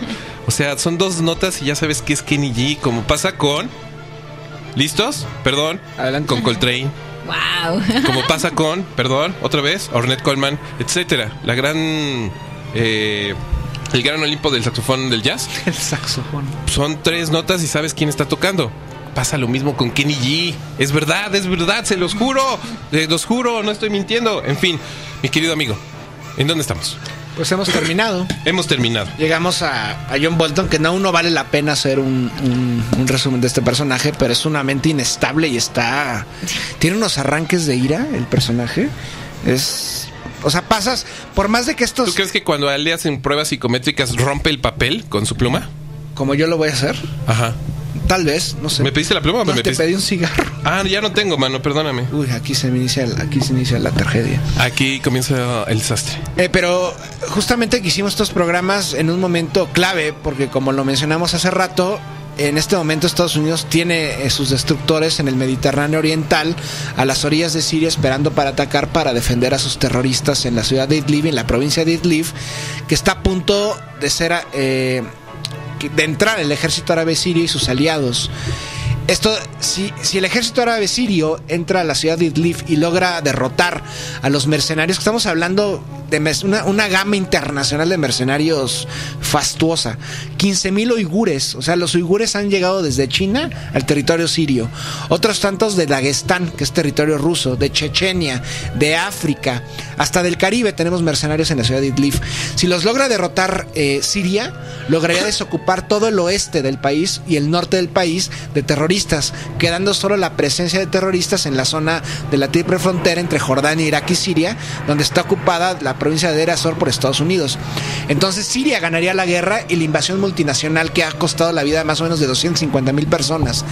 Entonces, en este momento, quien hace toda esta política es justamente el grupo neoconservador encabezado por John Bolton y muchos otros personajes insertos en la, en la administración Trump, que aunque no lo crean, no es aliado de Rusia y sí tiene un plan muy definido, que es acabar con todos los intereses rusos, incluyendo Siria. Y como van las cosas al parecer, se va a manifestar la peor pesadilla tanto de Kissinger como de Brzezinski, que es enfrentar una coalición eh, euroasiática encabezada por China, Rusia e Irán. Entonces, eh, las siguientes horas, la próxima semana, por eso- el próximo jueves podríamos estar diciendo el futuro de todo el Levante. El próximo miércoles ya. Perdón, el próximo, jueves, podríamos estar hablando del futuro de los próximos 100 años de lo que va a ser el mundo a través de Siria por la batalla que se avecina en la ciudad, en la ciudad y en la provincia de Idlib. Verga, qué angustia. ¿Estás angustiado, Nader? Sí, porque Y un poco emocionado también, ¿no? ¿no? emocionado porque seguramente va, Porque va- vienen grandes invasiones. tienen grandes invasiones. Va a ocurrir lo mismo que en abril. La gente realmente se creyó lo del atentado de bandera falsa de, con armas químicas. O sea, casi casi los astros se alinearon para Estados Unidos. Esto no es casual. Ya sería el cuarto. O sea, el Kremlin, Teherán, incluso Pekín lo están diciendo. Viene, se están juntando los llamados cascos blancos, que es solamente una avanzada propagandística británico-estadounidense, para fraguar eh, engaños eh, mediáticos a través de niñas. Por ejemplo, ¿recuerdan a Vanna Alavez? Vanna Alavez es una niña que decía, están bombardeando. Ah, claro, claro. Acabó siendo su padre miembro del Frente Ajá. al-Nusra, decapitador, un empleado de Recep Tayyip Erdogan, el presidente de Turquía, ¿no? Entonces ya la, el mundo está El mundo está loco, Nader. el mundo está muy mal, Benjamín. Por eso es mejor hablar de un, un ciclo de Alien. ¿Quieres hacer un ciclo Prefiero de guerras interplanetarias, que por cierto, la corporación Weyland Yutani es como un, un símil de la Rockefeller, que utiliza, tiene su división de armas biológicas. ¿Cuál es? Por eso quieren al alien, Benjamín. Pero sí, acabamos. Yo acabo preocupado por lo que se avecina en, en el Levante. Ahí está, señoras y señores. Vámonos con música. Regresamos a despedirnos y conclusiones y un resumen fugaz de la trayectoria del señor B. En fin, me rindo, Brzezinski. me rindo, me rindo, me rindo. Está bien. Eh, hasta luego. Lo perdimos. sí, totalmente. Esto es 9FM. Todo menos miedo. Nada le entró en corte. Estamos de vuelta, mis queridos gorilas. Esto es 9FM y estamos en vivo y en directo para todos ustedes desde la Ciudad de México. Tenemos comentarios aquí en cabina. Por acá el señor Shander se comunica y dice: Normalmente ponen rolas chidas. Pero ahora sí se pasaron de rosca poniendo reggaetón y luego en el bloque de Exosapiens. ¡Qué pasión! Querido amigo, abre su corazón. La música es una, hay cosas chidas, es lo nuevo de Osuna. ¿Qué importa? Aparte, no somos la estación de radio más importante por internet de América Latina. Eh, eh, haciendo caso a lo que nos dicen. Eh, por acá, el señor Daniel dice: ¿Van a subir programas en su canal de Exosapiens? Sí. Voy a- Ay, tienes una deuda, Nader. Tengo una deuda, La es banda, que- la banda está inquieta. ¿Cómo ha estado? La banda está inquieta, su sexualidad ha despertado. Eh, ok. ¿cómo? También, sí, ¿por qué no? No sé, se me ocurrió. Este psicométrico va a ser una maravilla. Sexo psicométrico. Eh, como he. ¿Cómo se llama? He estado en medio de una mudanza, me ha sido muy difícil trabajar, no tengo ni espacio para poner la compu. Pero les prometo que para el próximo domingo van a estar en línea los dos. Ahí está. De hecho, eh, quien, nos- quien me lo preguntó se llama Daniel de Catán. Él es, Mm. buen- es buena persona, siempre pasa datos de Argentina. Daniel de Catán, exacto. Es, es, Le mandamos un saludo. Al, saluda a Daniel de Catán en el video. es la banda, la banda. Ah, ¿Nos estamos grabando? Sí. Ah, pues salúdalo. Hola. Hola, Daniel Catán. Te dijeron buena persona. Siéntete orgulloso. Listo. Eh, por acá mm, mm, mm, le mandamos un saludo a Jiru. Muy, muy, muy, muy, muy apretado. Eh, y celebramos una vez más, como siempre, como cada jueves, su ecléctica automática, el espacio más chingón de música de este eh, humilde lugar. Y eso ya es mucho decirse, según yo, eh, según mis gustos muy personales. Pinche Jiru, eres un genio. Hablando de su música, que, que pone muy, muy buena música en su programa. Ajá. El otro día, comenzando hace creo que dos emisiones de invasiones en Buen Día Gorilas, pusiste el nuevo, el nuevo sencillo de Aphex Twin de Richard D. James. Ajá. Es ¿Han visto el video? Es increíble. Ah, no he visto el video. Uf. Te ponen al principio, tenga, cuidado, este, este, este clip puede provocar ataques epilépticos. pues ahí está. Es fascinante, véanlo. Listo, le- recomendaciones musicales. Oye, qué bonito que escuches 9FM, Nader. Sí, siempre lo escucho. Estoy muy conmovido. Oh. Qué bonito, Nader. De verdad, sentí cositas en mis ojos. O sea, no lo escucho. Algunas gentes le llaman eso empatía. Sí. Pero yo sentí, yo le llamo cositas en los ojos. Porque he descubierto y he reafirmado que uno de mis uno de mis grandes pasatiempos es cargar cosas. Me encanta cargar cosas. Como de murancero amateur, me fascina. No mames, Bianca, Qué- eres qué- una santa. qué bello es lo es. único que tengo que decir. al No, no, no, no, no, pero hay que reconocer que sí es muy bello reconocer esas cosas en ti mismo. O sea, Sí. saber esas cosas de ti Como, mismo. a mí lo que me late es cargar, es cargar cosas. cosas. claro. Así como hay otras gentes que dicen, nunca cargo nada, lo detesto. Me fascina cargar cosas, mover, clasificar, acomodar. Ahí está. La doñita de las plantas también se comunica y dice, cuidado, es real. Si le dan la mano a Exosapiens para hablar de películas, los devorará como un alien. Ya lo vimos, mi querida, mi querida Bianca, ya lo vimos. Ya lo he hecho el otro día hablando de sagas, aunque no es una saga, pero eh, estuve buscando conexiones entre las cintas de Tarkovsky para ver si entre cada cinta hay un universo compartido. Pero al parecer no, no, no lo logré. ¿Rusia no será ese universo compartido? Sí, pero más allá que hay conexiones entre cada película, entre personajes o ascendencia y descendencia de cada personaje. Ok, Y no, no la hay. listo. Es muy enfermizo ese ejercicio, no nunca lo hagan. Listo, señores y señores. Por acá también está el señor Osiman Díaz, ya escuchando el faro de, al faro de conocimiento Exosapiens. Le hace con voz ñera. ¿Ok? Gaby, ¿tú te manejas una buena voz ñera? Eh, no sé. A ver, di, ya escuchando al faro de, conoc- del conocimiento, de conocimiento en voz ñera. Mm, no, ya, ya escuchando, no. Ya escuchando al faro del conocimiento. No, pero ese es como ñero Pepe el Toro. Eso sí, no es, es que ese es miñero. Miñero Sí. es un cine de oro mexicano. Sí, también pensé en Me eso. falta pero mucha dije, calle. no, eso no es ñero en realidad. Ah, y después dice, es de que no sé si se pueda que en el mes de septiembre puedas hacer un... Ah, esta es la parte ñera. Es de que no sé si se pueda que en el mes de septiembre puedas hacer un especial como de historia de México, así como los especiales de rusofobia iranofobia, estaría muy chido. Podría ser. Pero estamos. eh, está en la lista porque tenemos pendiente sinofobia. Que hay que prepararnos psicológicamente. Sí, sí, ¿eh? Sí. Igual Luego, sí nos ¿Te, te das cuenta que le tenemos mucho ¿eh? miedo? Y traer gongs. Cada, cada, cada semana, antes de que termine el programa, fuera del aire, es así como, ¿y el próximo semana qué? Y hay un pequeño silencio en donde alguien va a decir, no, pues qué onda con lo de sinofobia, y alguien dice, y de repente nadie dice, ¿qué tal si hablamos de Alien? Y recomendar un ciclo de cine de Golden Harvest con películas como El, el bo- boxeador borracho ¿El boxeador borracho? de Jackie Chan. Ah, no, es buenísima. Increíble. esa Nader, película. dame tu mano. Drunken, eh, ¿cómo se llama? Drunken, Drunken- Master. Drunken Master, Drunken Master, maestro. Y otra increíble, que- Que, Increíble. vi- Jackie Chan visita Australia y tiene un koala. Eso sí no Es te la fascinante. Es un gran maestro. ¿Eres un gran fan de Jackie Chan entonces? Lo era hasta que llegó a Hollywood. Ah, son dos etapas diferentes. Sí, Sí, sí, y sí, también pero, de las películas de Golden Harvest. pero de verdad, Raymond Chow y todo eso. eh, de verdad, de verdad, de verdad. Drunken Master, por favor, véanla. Sí. Es una enorme película. Es, Es- extrañísima y es increíble. Por acá. mm, mm, mm, mm, mm, eh. Osimandías dice: Ya escuchando. Alfa, ah, ya, ya lo leí. Eh, ¿Qué más tenemos por aquí? Juaco nos manda una bonita ilustración de Kissinger, el hombre ilustrado, y con todos los tatuajes de sus tropelías en la espalda, como haciendo referencia a este famoso cuento de Ray Bradbury. Ray Bradbury. Hablamos hace poco de Ray Bradbury. Hubiéramos de haber sabido junto a Kissinger con Ray Bradbury. Ahí está, ahí está.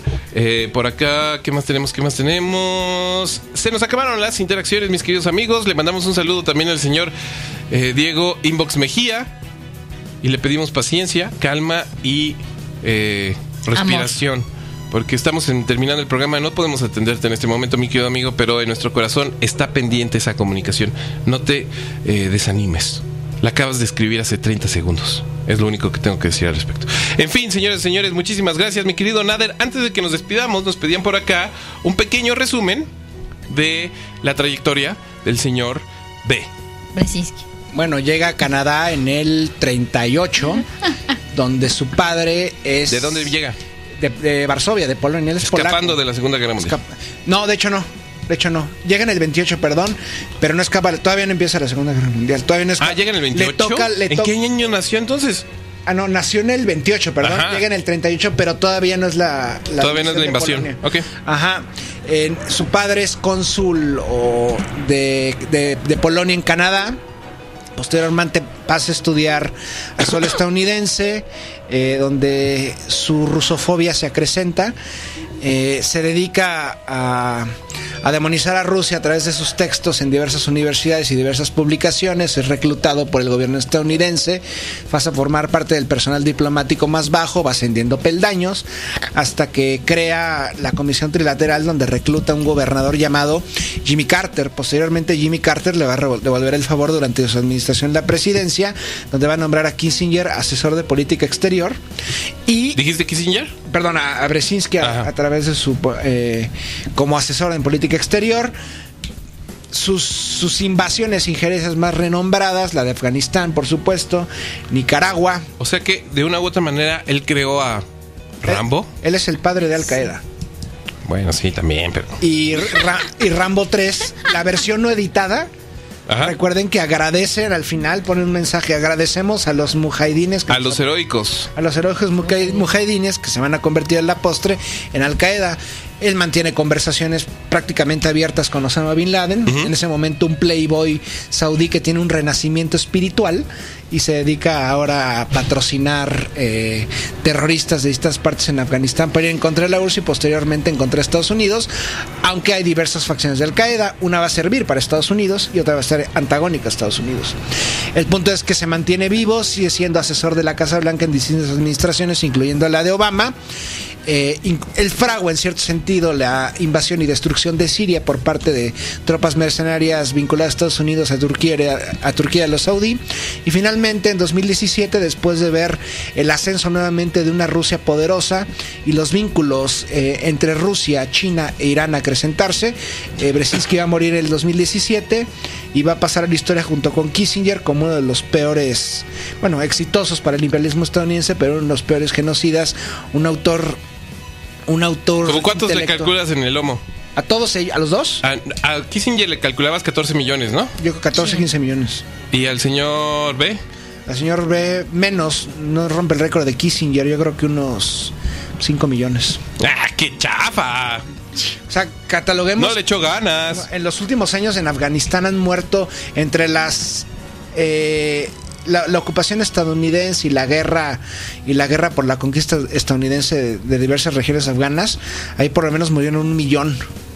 O sea, imagínense. Oh my god. Eh, sumado a esto las- la- los conflictos en Centroamérica, patrocinados con droga afga- afgana por la gracia de Estados Unidos, etcétera. La maldita droga. Sí, estamos bajo personajes que tienen una cifra aterradora y esa cifra se podría acrecentar en los próximos años porque este John Bolton tiene ganas de romper el récord. ¿no? ¿Sí? ¿Tú crees? Sí. Oh my god. Y es menos inteligente. No, es, es una bestia ese tipo. ¿A qué? Hay un hay una entrevista a John Bolton, no sé en qué medio gringo se la hacen Fox News, NBC o CNN, no sé, pero que después de que da como su cápsula, porque está invitado a hablar de geopolítica, entre comillas, eh, lo utilizan para presentar un producto de estos que hacen ejercicios que venden en infomerciales en la tele. ¿What? Sí. Entonces el asesor de política exterior estadounidense de pronto está baila- moviéndose haciendo un aparato. Mentira. Te lo juro. ¿En serio? Te lo juro. sí. Qué horror. Entonces esa es como la historia de la, entre comillas, diplomacia estadounidense. de Gente que no sabe decir no, que acumula todo su rencor y tiene la posibilidad de soltarlo en el mundo entero. A diferencia de otros que solo se le pegan a sus hijos, por ejemplo. Mucho más sano. justamente. Ahí está. Ahí está, señoras y señores. En fin, nos despedimos. Les agradecemos profundamente su participación, su atención, su escucha. Ante todo, su escucha. Le mandamos un saludo a Mariano que dice programón. Felicitaciones a todos. Un deleite escucharte, Cristian. Gracias por tu conocimiento y valentía. Va, de nada. También estamos Gabriela y yo aquí cotorreando. Eh, chido tu cotorreo, Mariano. Eh, la neta es que... eh, pues se entiende, ¿no? ¿Se entiende? ¿Está bien? ¿Está bien? No me lo voy a tomar personal. Así son las cosas. Está bien. Está bien. Eso es Benjamín no Por cierto, hablando de eso, cosas. hablando de medios, nos censuraron Hispan TV todavía. ¿Todavía? Cerraron el canal, el, pre- el- el canal original de YouTube, tuvieron que abrir otro y... No, platicábamos de eso la semana Sí, pasada. pero ahora ya cerraron el canal, ya no dejan subir videos. ¿En serio? Sí. Maestros. Por acá también Oximandías dice, Sinofobia va a ser un programazo. Mil gracias. Van a ser Va a ser como 20. 20 programazos. Uno por dinastía. No, no, no, no, no. Tenemos que, sistematizar eso mejor, banda. ¡Tontos! ¡Tontos! ¡Tontos! Eso, eso es Ya ves, chino. rompimos a Nader nomás del mencionarlo. Sí, no, ya se asustó, se asustó. Ese es Nader expresando su preocupación. Eh, Viviano Land dice por acá, muy buen programa como siempre, buen fin de semana a todos, a descarriarse, pues ya que. Listo, señoras y señores, seguiremos tu consejo. Nos despedimos, muchísimas gracias, mi querida Gabriela. Muchas gracias, nos escuchamos mañana. Mi querido Cristian, muchísimas gracias. Gracias, Gaby. Gracias, Benjamín. Muchas gracias por venir, fue un gran programa. Gracias a todos. Te queremos mucho. Gracias al mundo, a la vida, ¿Qué te ha dado tanto? que me ha dado tanto. Te dio una novia. Una novia, una novia preciosa, un- una vida llena de... Iba a ser de lujos, pero no, no tantos. Un suegro con un buen corte de cabello. Un buen suegro con un buen corte de cabello retro, muy retro, Te dio unos buenos lentes. unos buenos lentes. ray Cómprenlos en la plaza, en la plaza de la óptica y en Motolinía y afuera de Metro Allende. Ahí está, señores, señores, nos despedimos. Tengan muy buena tarde. Esto es 9FM Todo Menos Miedo. Se quedan en su jueves, aquí en su estación de confianza. Anuncio parroquial rapidísimo. Hoy a las 7 de la noche, la GAM, Galería de Arte Mexicano, re- abre sus puertas con una importantísima eh, exposición. Por favor, dense una vuelta. En nuestras redes sociales está toda la información. Hoy lo vamos a volver a promocionar para, para que no digan que nada más les estamos soltando así datos a la ligera. Mientras tanto, hasta luego, tengan muy buena tarde. Y por mi parte solo me queda decirles dos cosas. Va por Juana, va por Emilia y sigan siendo contundentes, sigan siendo arenosos, sigan siendo soleados, porque el mundo necesita gente como ustedes. Hasta luego, tengan muy buena tarde.